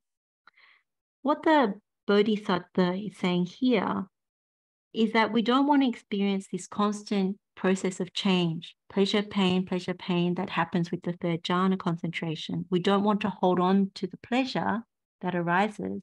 Instead, we want to become more equanimous towards um, pleasure because we understand with pleasure comes pain, with pain comes pleasure, and so on. So, what we do at this point is we give up the pleasure, we give up the sukha so that we can go beyond pleasure and pain. So, that's why what arises then is a dukkha neither pain nor pleasure. And that is actually more stable, which is also why uh, equanimity is there. So when the bodhisattva includes the previous disappearance of joy and sadness, there's a few things we can understand from this as, as part of entering into the fourth jhana. This is a little bit more technical. So what I did was I went back into Petakopadesa for this because it's actually talking about certain faculties that are ceasing as we go through the jhana concentrations and what we end up giving up in terms of the fourth jhana. So Petakopadesa tells us that with the first jhana concentration, we have this faculty known as the sadness faculty, domanassa indriya. So in the first jhana, that ceases. In the second jhana concentration, dukkha indriya, so the pain faculty, that ceases. And then with the third jhana, the somanassa indriya, the joy faculty ceases. And then with the fourth jhana, what we now must give up, because we're giving up pleasure, is that we're giving up the pleasure faculty. So the sukha indriya ceases. So what you see when you get to the fourth jhana is that all four faculties, sadness, pain, joy, pleasure, they've all ceased. And so that's why we attain equanimity with clear comprehension. So that's very technical, but it's it's quite precise. So in many ways, you can see why the jhanas are medicine. They're medicine for these other faculties that that make us fluctuate in our experience at the level of feeling and perception. So when we look at the next part, we can see, and this is also from the Petakopadesa, it says it's due to the pleasure faculty and the joy faculty that there was unmindfulness. With the cessation of the pleasure faculty and the joy faculty, we possess mindfulness. And this is a very pure mindfulness that the Bodhisattva has. And then it's due to the pain faculty and the sadness faculty that there was the lack of clear comprehension, the more muddle mindedness. So, with their cessation, we possess the purified clear comprehension, the sampajanya. And then with the fourth jhana, having given up pleasure and pain, we experience neither pleasure nor painful feeling and mindfulness that is purified due to equanimity. So it all comes together in the fourth. So the fourth jhana possesses four factors. It has equanimity, so that's the upekkha, purity of the mind- mindfulness. So this is the sati parisuddhi. So it's very, very pure, this mindfulness. Neither painful nor pleasurable feeling, adukkhama sukha, vedana, and unification of the mind. So we still have this chitta ekaggata, but it's more refined, more stable, more unshakable. So the question we again have is how do we know we've entered into the fourth jhana? So the experience of the fourth jhana is quite different from the other ones because you've given up both pleasure and pain now. So for some people, it feels like their head is exposed or open. Some people have said it's open, but there's a certain lightness or non heaviness in the head itself. There's no obvious heaviness, there's no obvious tension. It's like a weight has been lifted. And in the fourth jhana, you feel like you can't be disturbed, that anything around you is not going to pull you out of this particular concentration. Some people have described it as an empty room or a place that is very, very still. And the mind feels very, very concentrated, very alert, very luminous, and very stable. So there's nothing outside of the concentration that can grab your attention. Everything has stilled and calmed. When you remain in the fourth jhana concentration for a very long time, you can do so without much effort. And it's also, as we know, possible to go from form jhana to enter into formless attainments as well. So we've looked at formless attainments in many, many sutta meditations, and we've also looked at it in the Chula Sunyata Sutta. So we won't go through that here. And it's also possible to attain to the cessation of perception and feeling. So this is Sanya Vedaya, Vedayita, Sanya Vedayita Nirodha Samapatti. So this arises through the development of wisdom. So, uh, Bhavatapanya. And why this is important, and again, you, you can read about this in Chula Vedalla Sutta, is because mental, verbal, and physical processes cease temporarily. You get that true taste of Nibbana in Nirodha Samapatti. And when you emerge from uh, Nirodha Samapatti, your mind is slanting, sloping, and strongly inclining towards seclusion. So that's very, very beneficial. That means you, you get less disturbed about worldly matters, worldly things. You want to stay secluded from sensual pleasures. You, you, your preference is to stay secluded from unwholesome states, or the defilements and things and misconduct. It's very, very helpful if you want to complete the path. And the Chula Vedalla Sutta goes into the sequence of how you enter into Nirodha Samapatti and also how you um, emerge from it as well.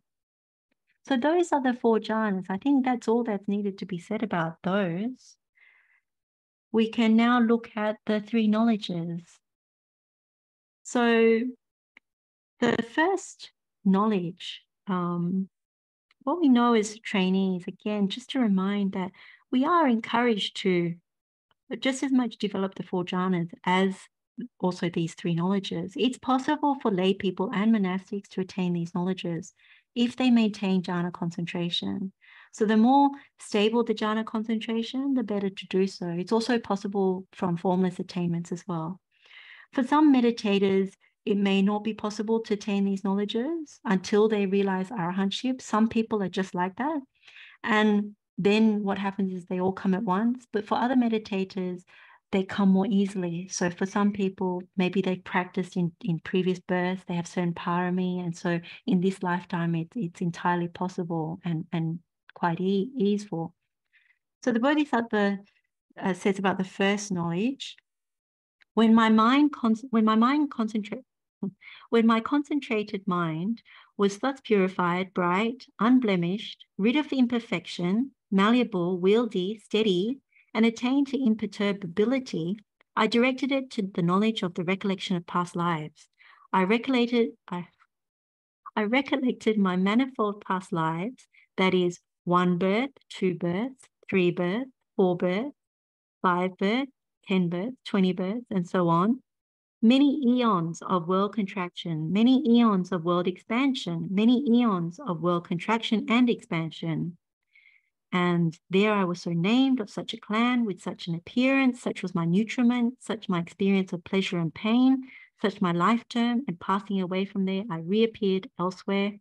And there too I was so named of such a clan with such an appearance, such was my nutriment, such my experience of pleasure and pain, such my life term, and passing away from there, I reappeared here. Thus, with their aspects and particulars, I recollected my manifold past lives. So this was the first true knowledge that the Bodhisattva attained in the first watch of the night.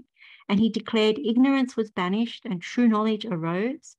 Darkness was banished and light arose, as happens in one who abides diligent, ardent, and resolute. So we we confirm that that the Bodhisattva is still very, very vigilant, still very active in the meditation, and with a very firm resolution towards Nibbana. So he, in this particular uh, first true knowledge, he recollects the past births. So, what is evident is the Bodhisattva's ability to concentrate was very powerful. Okay, so very vast, very steadfast, because in order to recollect what was past births over eons and eons of world contractions and expansions, it, it, it, w- it would have been very, very vast, something we cannot even fathom. So, not only that, he could recall all the details of those past births from one to another, and I would presume sequentially backwards. So, name, clan, appearance, nutriment, experiences, lifespan, passing away and reappearing, and so on. So, you can see that he would have learned so much from that. Now, what's really interesting is that um, he would have seen births in lower realms, birth in human realm, births in divine realms, and over and over. So that's very important knowledge, special knowledge. Um, so we are encouraged to do the same. And the reason why we encourage is because it removes doubt about karma, about rebirth, about the noble truth. So we know that the first noble truth is always birth is suffering, aging is suffering, sickness is suffering, death is suffering. We're encouraged because the Buddha says that we've been journeying, transmigrating through innumerable lifetimes with no beginning, no clear beginning that can be found.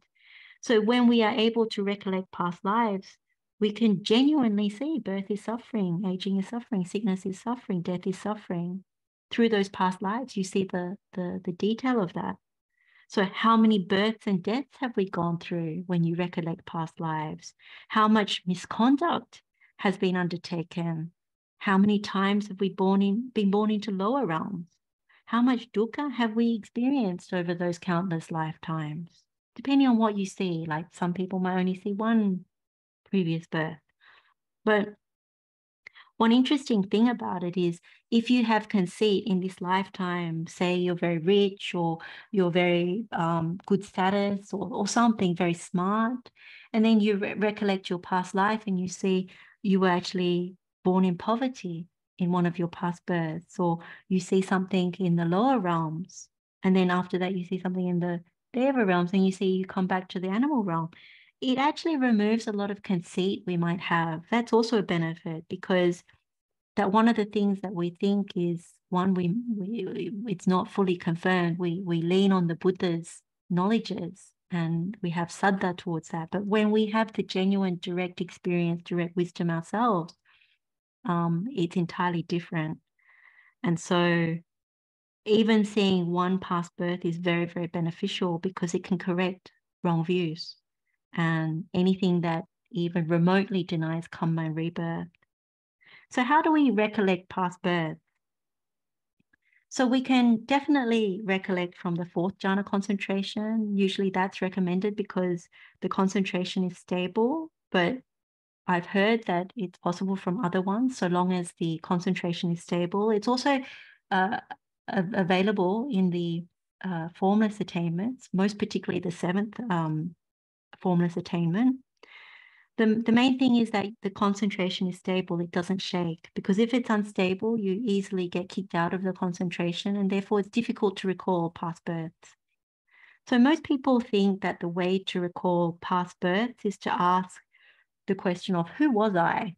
And actually, that's not the way to do it. That's quite a difficult method to use. You can't easily recall details that way because that's not how the sankharas work, the volitional formations. The method that is recommended to use is to ask, what was I doing in my past birth or my past life? And if the concentration is stable in your mind, you will recall those sankharas, those volitional formations, and see what you were doing. And so, an example that I can give is you might see um, your hands working. Um, and usually, past births are actually quite surprising. It's never what you think. So, you might see your hands working, and this picture comes to the mind that you're repairing something. So, an example is repairing a horseshoe or fitting a horseshoe to a horse's hoof then you recognize in that past birth you were a blacksmith or a farrier who repairs and fits horseshoes to horses, like that. You can maybe discern your age by seeing what your hands look like or other parts of the body. You can also recall other details if you recall the volitional formations of, of doing certain things. So moving around places or interacting with others, family members or others, you, you glean information that way. And the other thing is you can recognize other people in your past birth, but they don't appear as they appear now, but you still recognize them.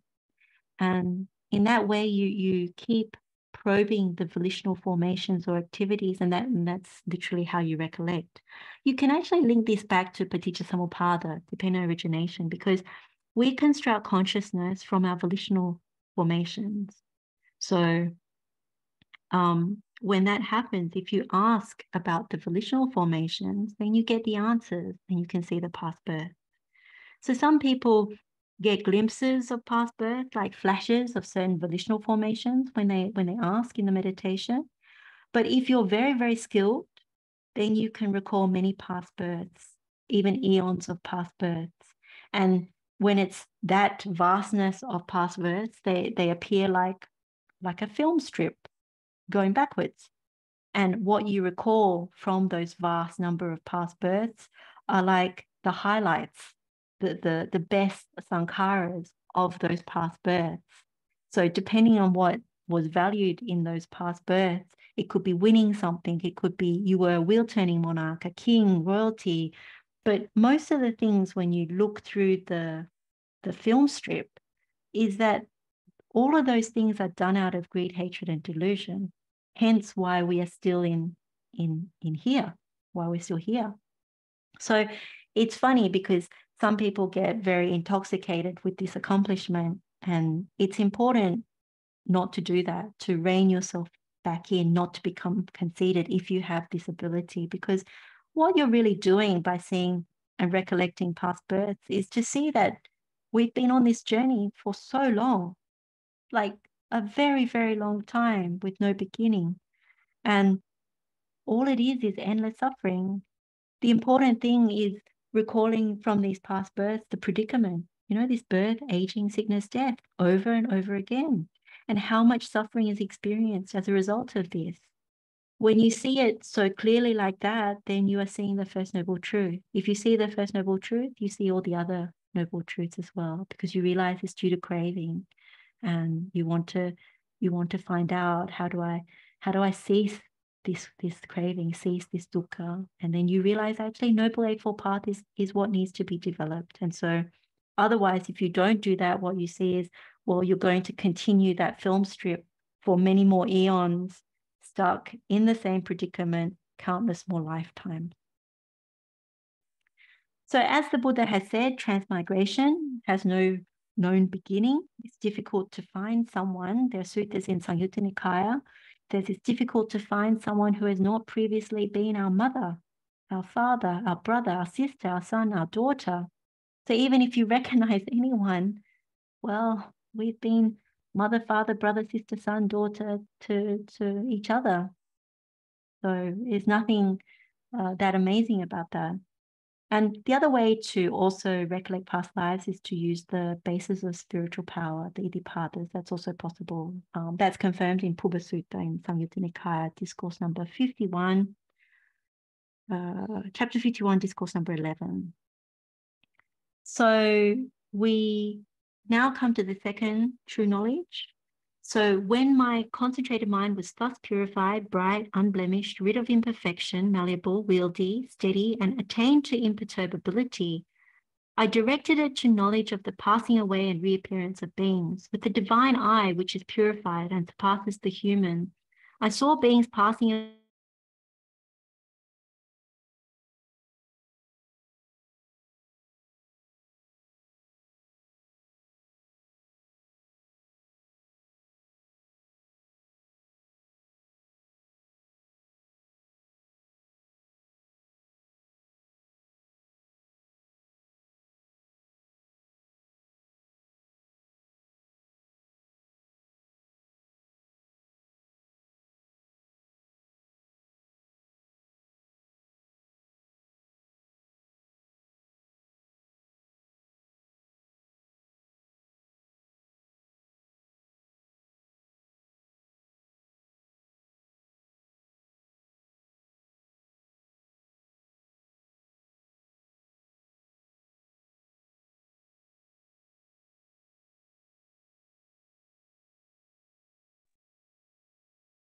think I got kicked out for a second, so I'm going to see whether I can share my screen again.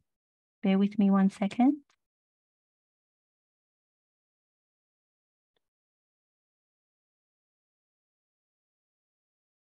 Okay. Not sure what happened there, but anyway, we're back again. So I'll just con continue reading from this. So these beings who are ill conducted in body, speech, and mind, revilers of noble ones, wrong in their views, giving effect to wrong view in their actions, on the dissolution of the body after death, having reappeared in a state of deprivation, in a bad destination, in perdition, even in hell. But these worthy beings who are well conducted in body, speech, and mind, not revilers of noble ones, right in their views, giving effect to right view in their actions, on the dissolution of the body, after death have reappeared in a good destination, even in the heavenly world. Thus, with the divine eye, which is purified and surpasses the human, I saw beings passing away and reappearing, inferior and superior, fair and ugly, fortunate and unfortunate, understood how beings pass on according to their actions. So, this is the second true knowledge again. Ignorance was banished and true knowledge arose. Darkness was banished and light arose, as happens in one who abides diligent ardent, and resolute. So this happened in the second watch of the night or the middle watch of the night that the uh, Bodhisattva attained this particular true knowledge. And again, we see the, the Bodhisattva still vigilant, still actively making effort, and, and still very resolute in his determination for Nibbana. So, this second knowledge is often simply referred to as the divine eye, if you have this particular accomplishment, it removes doubt about and rebirth. And it's in many ways connected to the, the first true knowledge. And in this case, we see innumerable beings coming and going according to their karma or volitional formations or actions. So, beings who conducted themselves by body, speech, and mind, um, revilers of noble ones, wrong in their views, giving effect to wrong view in their actions, they're the ones that are bound for lower realms or bad destinations because they've had bad, bad conduct and wrong view. Whereas those beings who are well conducted in body, speech, mind, not revilers of noble ones, right in their views, giving effect to right view in their actions, they're bound for good destinations. So it's very much like seeing one lane of people going in one direction and another lane of people going in another direction all day and night. And the Buddha also likened it to seeing people move between houses as they go from birth to birth. And, you know, they disappear and then they reappear. So that's in one sutta, it does say something like that. So, how do we see the passing away and reappearance of beings? How do we develop this? To attain this knowledge, we need to apply or develop the perception of light. So, this is the aloka sanya. In the Samadhi Bhavana Sutta, so this is the one in Anguttara chapter 4, discourse number 41. So, it's a different one. The Buddha says that and what is the development of concentration that leads to obtaining knowledge and vision? And in this particular sutta, the note to this sutta says that knowledge and vision in this instance refers to the Dibbacakkhu uh, Jnana Dasana, so the divine eye. And the instruction here says here a bhikkhu attends to the perception of light. He attends, he focuses on the perception of day. So when he does this, he goes as by day, so at night, as at night, so by day. Thus, with a mind that is open and uncovered, he develops a mind imbued with luminosity, this is the development of concentration that leads to obtaining knowledge and vision of the divine eye. So we already developed the perception of light to overcome sloth and torpor. But when you develop this light, it's really wisdom light. And it's a very important one because it cuts out any impurities as well. And so much of this, like when you think about the the wisdom light of the noble arahants, for example, the ones that are still in the uh, pure abodes, their light is is so great. So that's how you know they can see the uh, disappearance and appearance of, of, beings. You can imagine that the Bodhisattva, when he developed this, it would have been so vast and so bright anytime in your meditation that you've been able to connect to noble ones, you you realize actually it is very, very, very vast. And again, you know, this is something if you develop your iddhipadas, the basis of spiritual power, it's also possible to to develop this this knowledge of passing away and reappearance of beings, this divine eye. So uh, the other instruction that is quite helpful, which we won't go through now, is the Vibhanga Sutta. This is Iddhipada Samyutta uh, Nikaya, chapter 51, discourse number 20. That's also very helpful for developing this particular knowledge. So the third and final knowledge is the destruction of the taints. So here the Bodhisattva says, when my concentrated mind was thus purified, bright, unblemished, rid of imperfection, malleable, wieldy, steady, and attained to imperturbability. So you already see, like through these knowledges, how wonderful and purified the concentration is.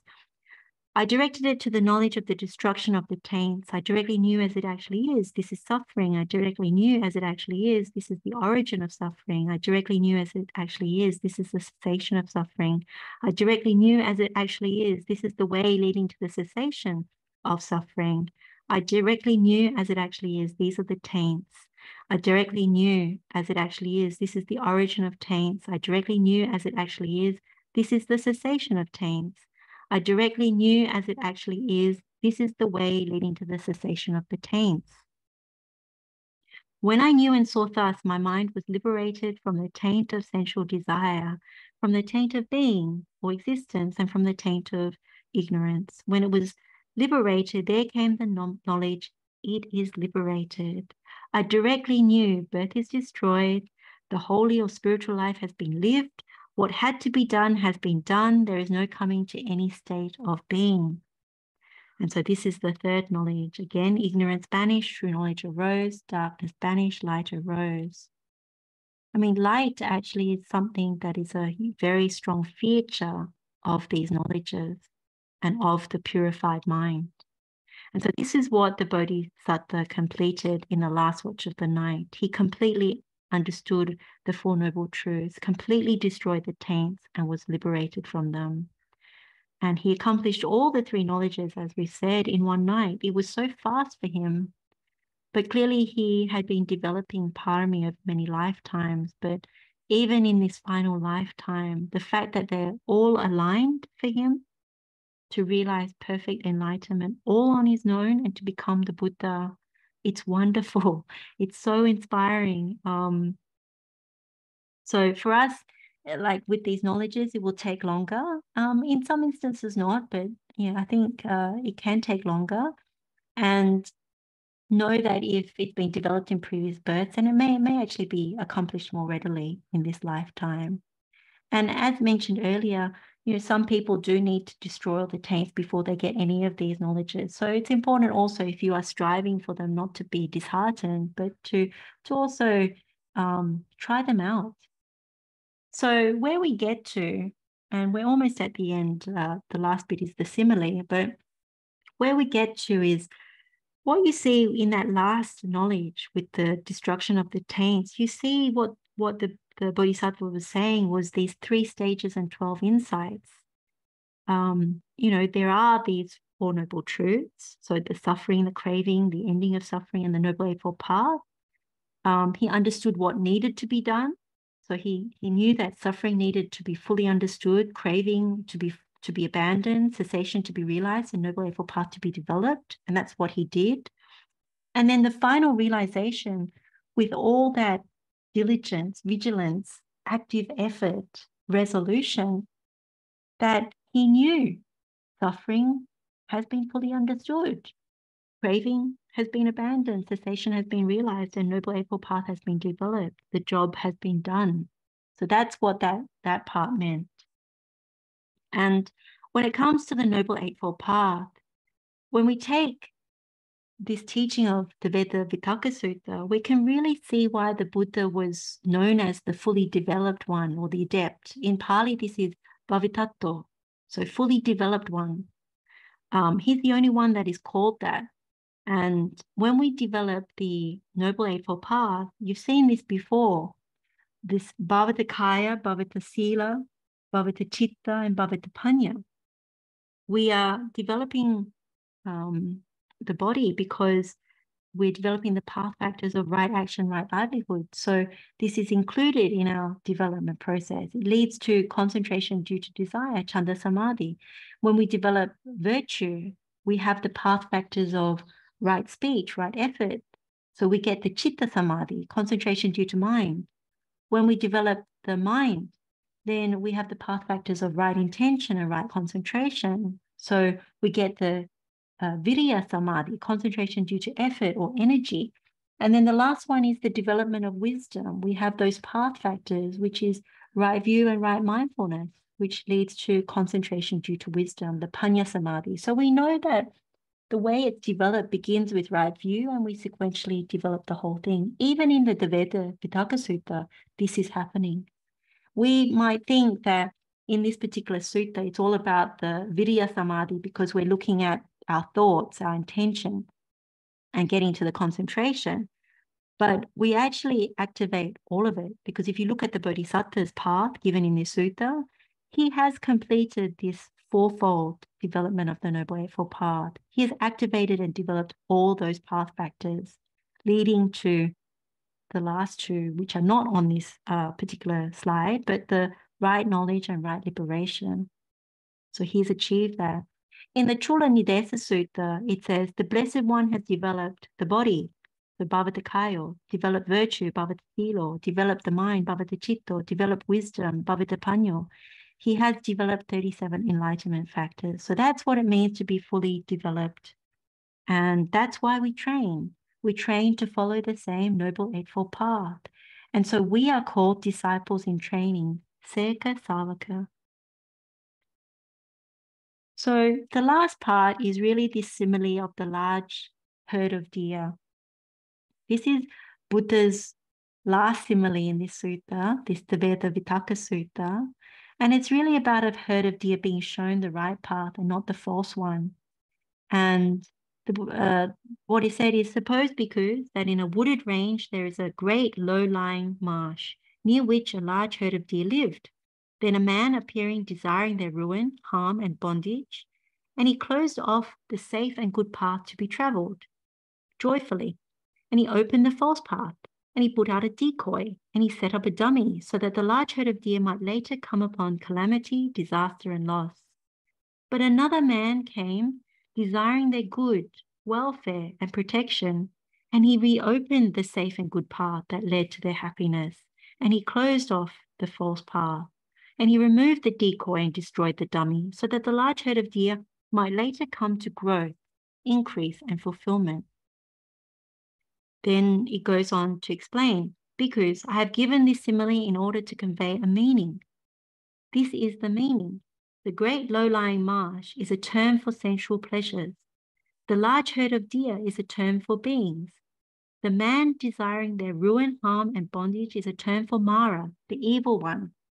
The false path is a term for the wrong eightfold path, that is, wrong view, wrong intention, wrong speech, wrong action, wrong livelihood, wrong effort, wrong mindfulness, and wrong concentration. The decoy is a term for delight and lust. The dummy is a term for ignorance. The man desiring their good welfare and protection is a term for the Tathagata, accomplished and fully enlightened. The safe and good path to be traveled joyfully is a term for the Noble Eightfold Path. That is, right view, right intention, right speech, right action, right livelihood, right effort, right mindfulness, and right concentration. So, this final simile by the Buddha about this deer herd is very rich in meaning. We are like the deer, living close to, if not surrounded by sensual pleasures, kama. So Mara comes along with the intention to ruin us, to harm us, to keep us in bondage to samsara, to endless suffering. So he closes the Noble Eightfold Path to us and he opens the wrong Eightfold Path, leading with wrong view and resulting all the way through to wrong concentration. He uses or utilizes Nandiraga, this delight and lust, as the decoy, ignorance, this avijja as the dummy, so if we take up Mara's decoy and dummy, we don't see the danger in sensual pleasures. We we become consumed by them. Instead, we indulge in craving for sensual pleasures. We get overrun by the delight and lust, and we end up harmed as he intended, as others would be harmed, and both. And just like this, the Dvedhavitakka Sutta, our wisdom is blocked, if not destroyed. Ignorance grows. We are in immense amount of difficulty or trouble and we're away from the right path, the, the safe and right path. So what we take from this is that the more we delight in lust, in sensual pleasures, the more misfortune we have because wrong view, loss of virtue, we are bound to rebirth in lower realms. That's our ruin, our greatest misfortune. But if we follow the good person that comes along, and this is the Tathagata, who has realized directly for himself perfect enlightenment. If we hear the Buddha's teaching, they show us the way out of suffering, which is the Noble Eightfold Path.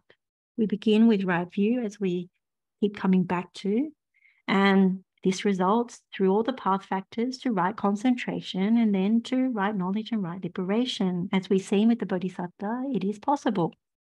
That is the safe and right path leading to, to supreme safety. So when we talk about safety, it's not mundane safety, it's supreme safety and long lasting happiness of Nibbana. So through the method of his instruction, the Buddha closes off the wrong path, removes delight and lust, the decoy, and destroys ignorance, so destroys the dummy with wisdom. And so we can develop this safe and good path, safe and right path, make good progress and develop to fulfillment. So the final statement from the Buddha, the closing statement, he ends with these words of encouragement for us. And we can take them as that encouragement and also a sense of urgency as we always encourage each other through these sessions. So, because the safe and good path to be traveled joyfully has been reopened by me, the wrong path has been closed off, the decoy removed, the dummy destroyed. What should be done for his disciples out of compassion by a teacher who seeks their welfare and has compassion for them? And that I have done for you because there are these roots of trees, these empty huts. Meditate because do not delay, or else you will regret it later. This is our instruction to you. This is what the Blessed One said. The bhikkhus were satisfied and delighted in the Blessed One's words. So that's this Poya's um, teaching from the from the Buddha and his experience as the Bodhisattva. So there's there's much we can take away uh, from this teaching. There's much encouragement and also inspiration from the amount of effort and the good qualities that the that the Buddha showed as a bodhisattva.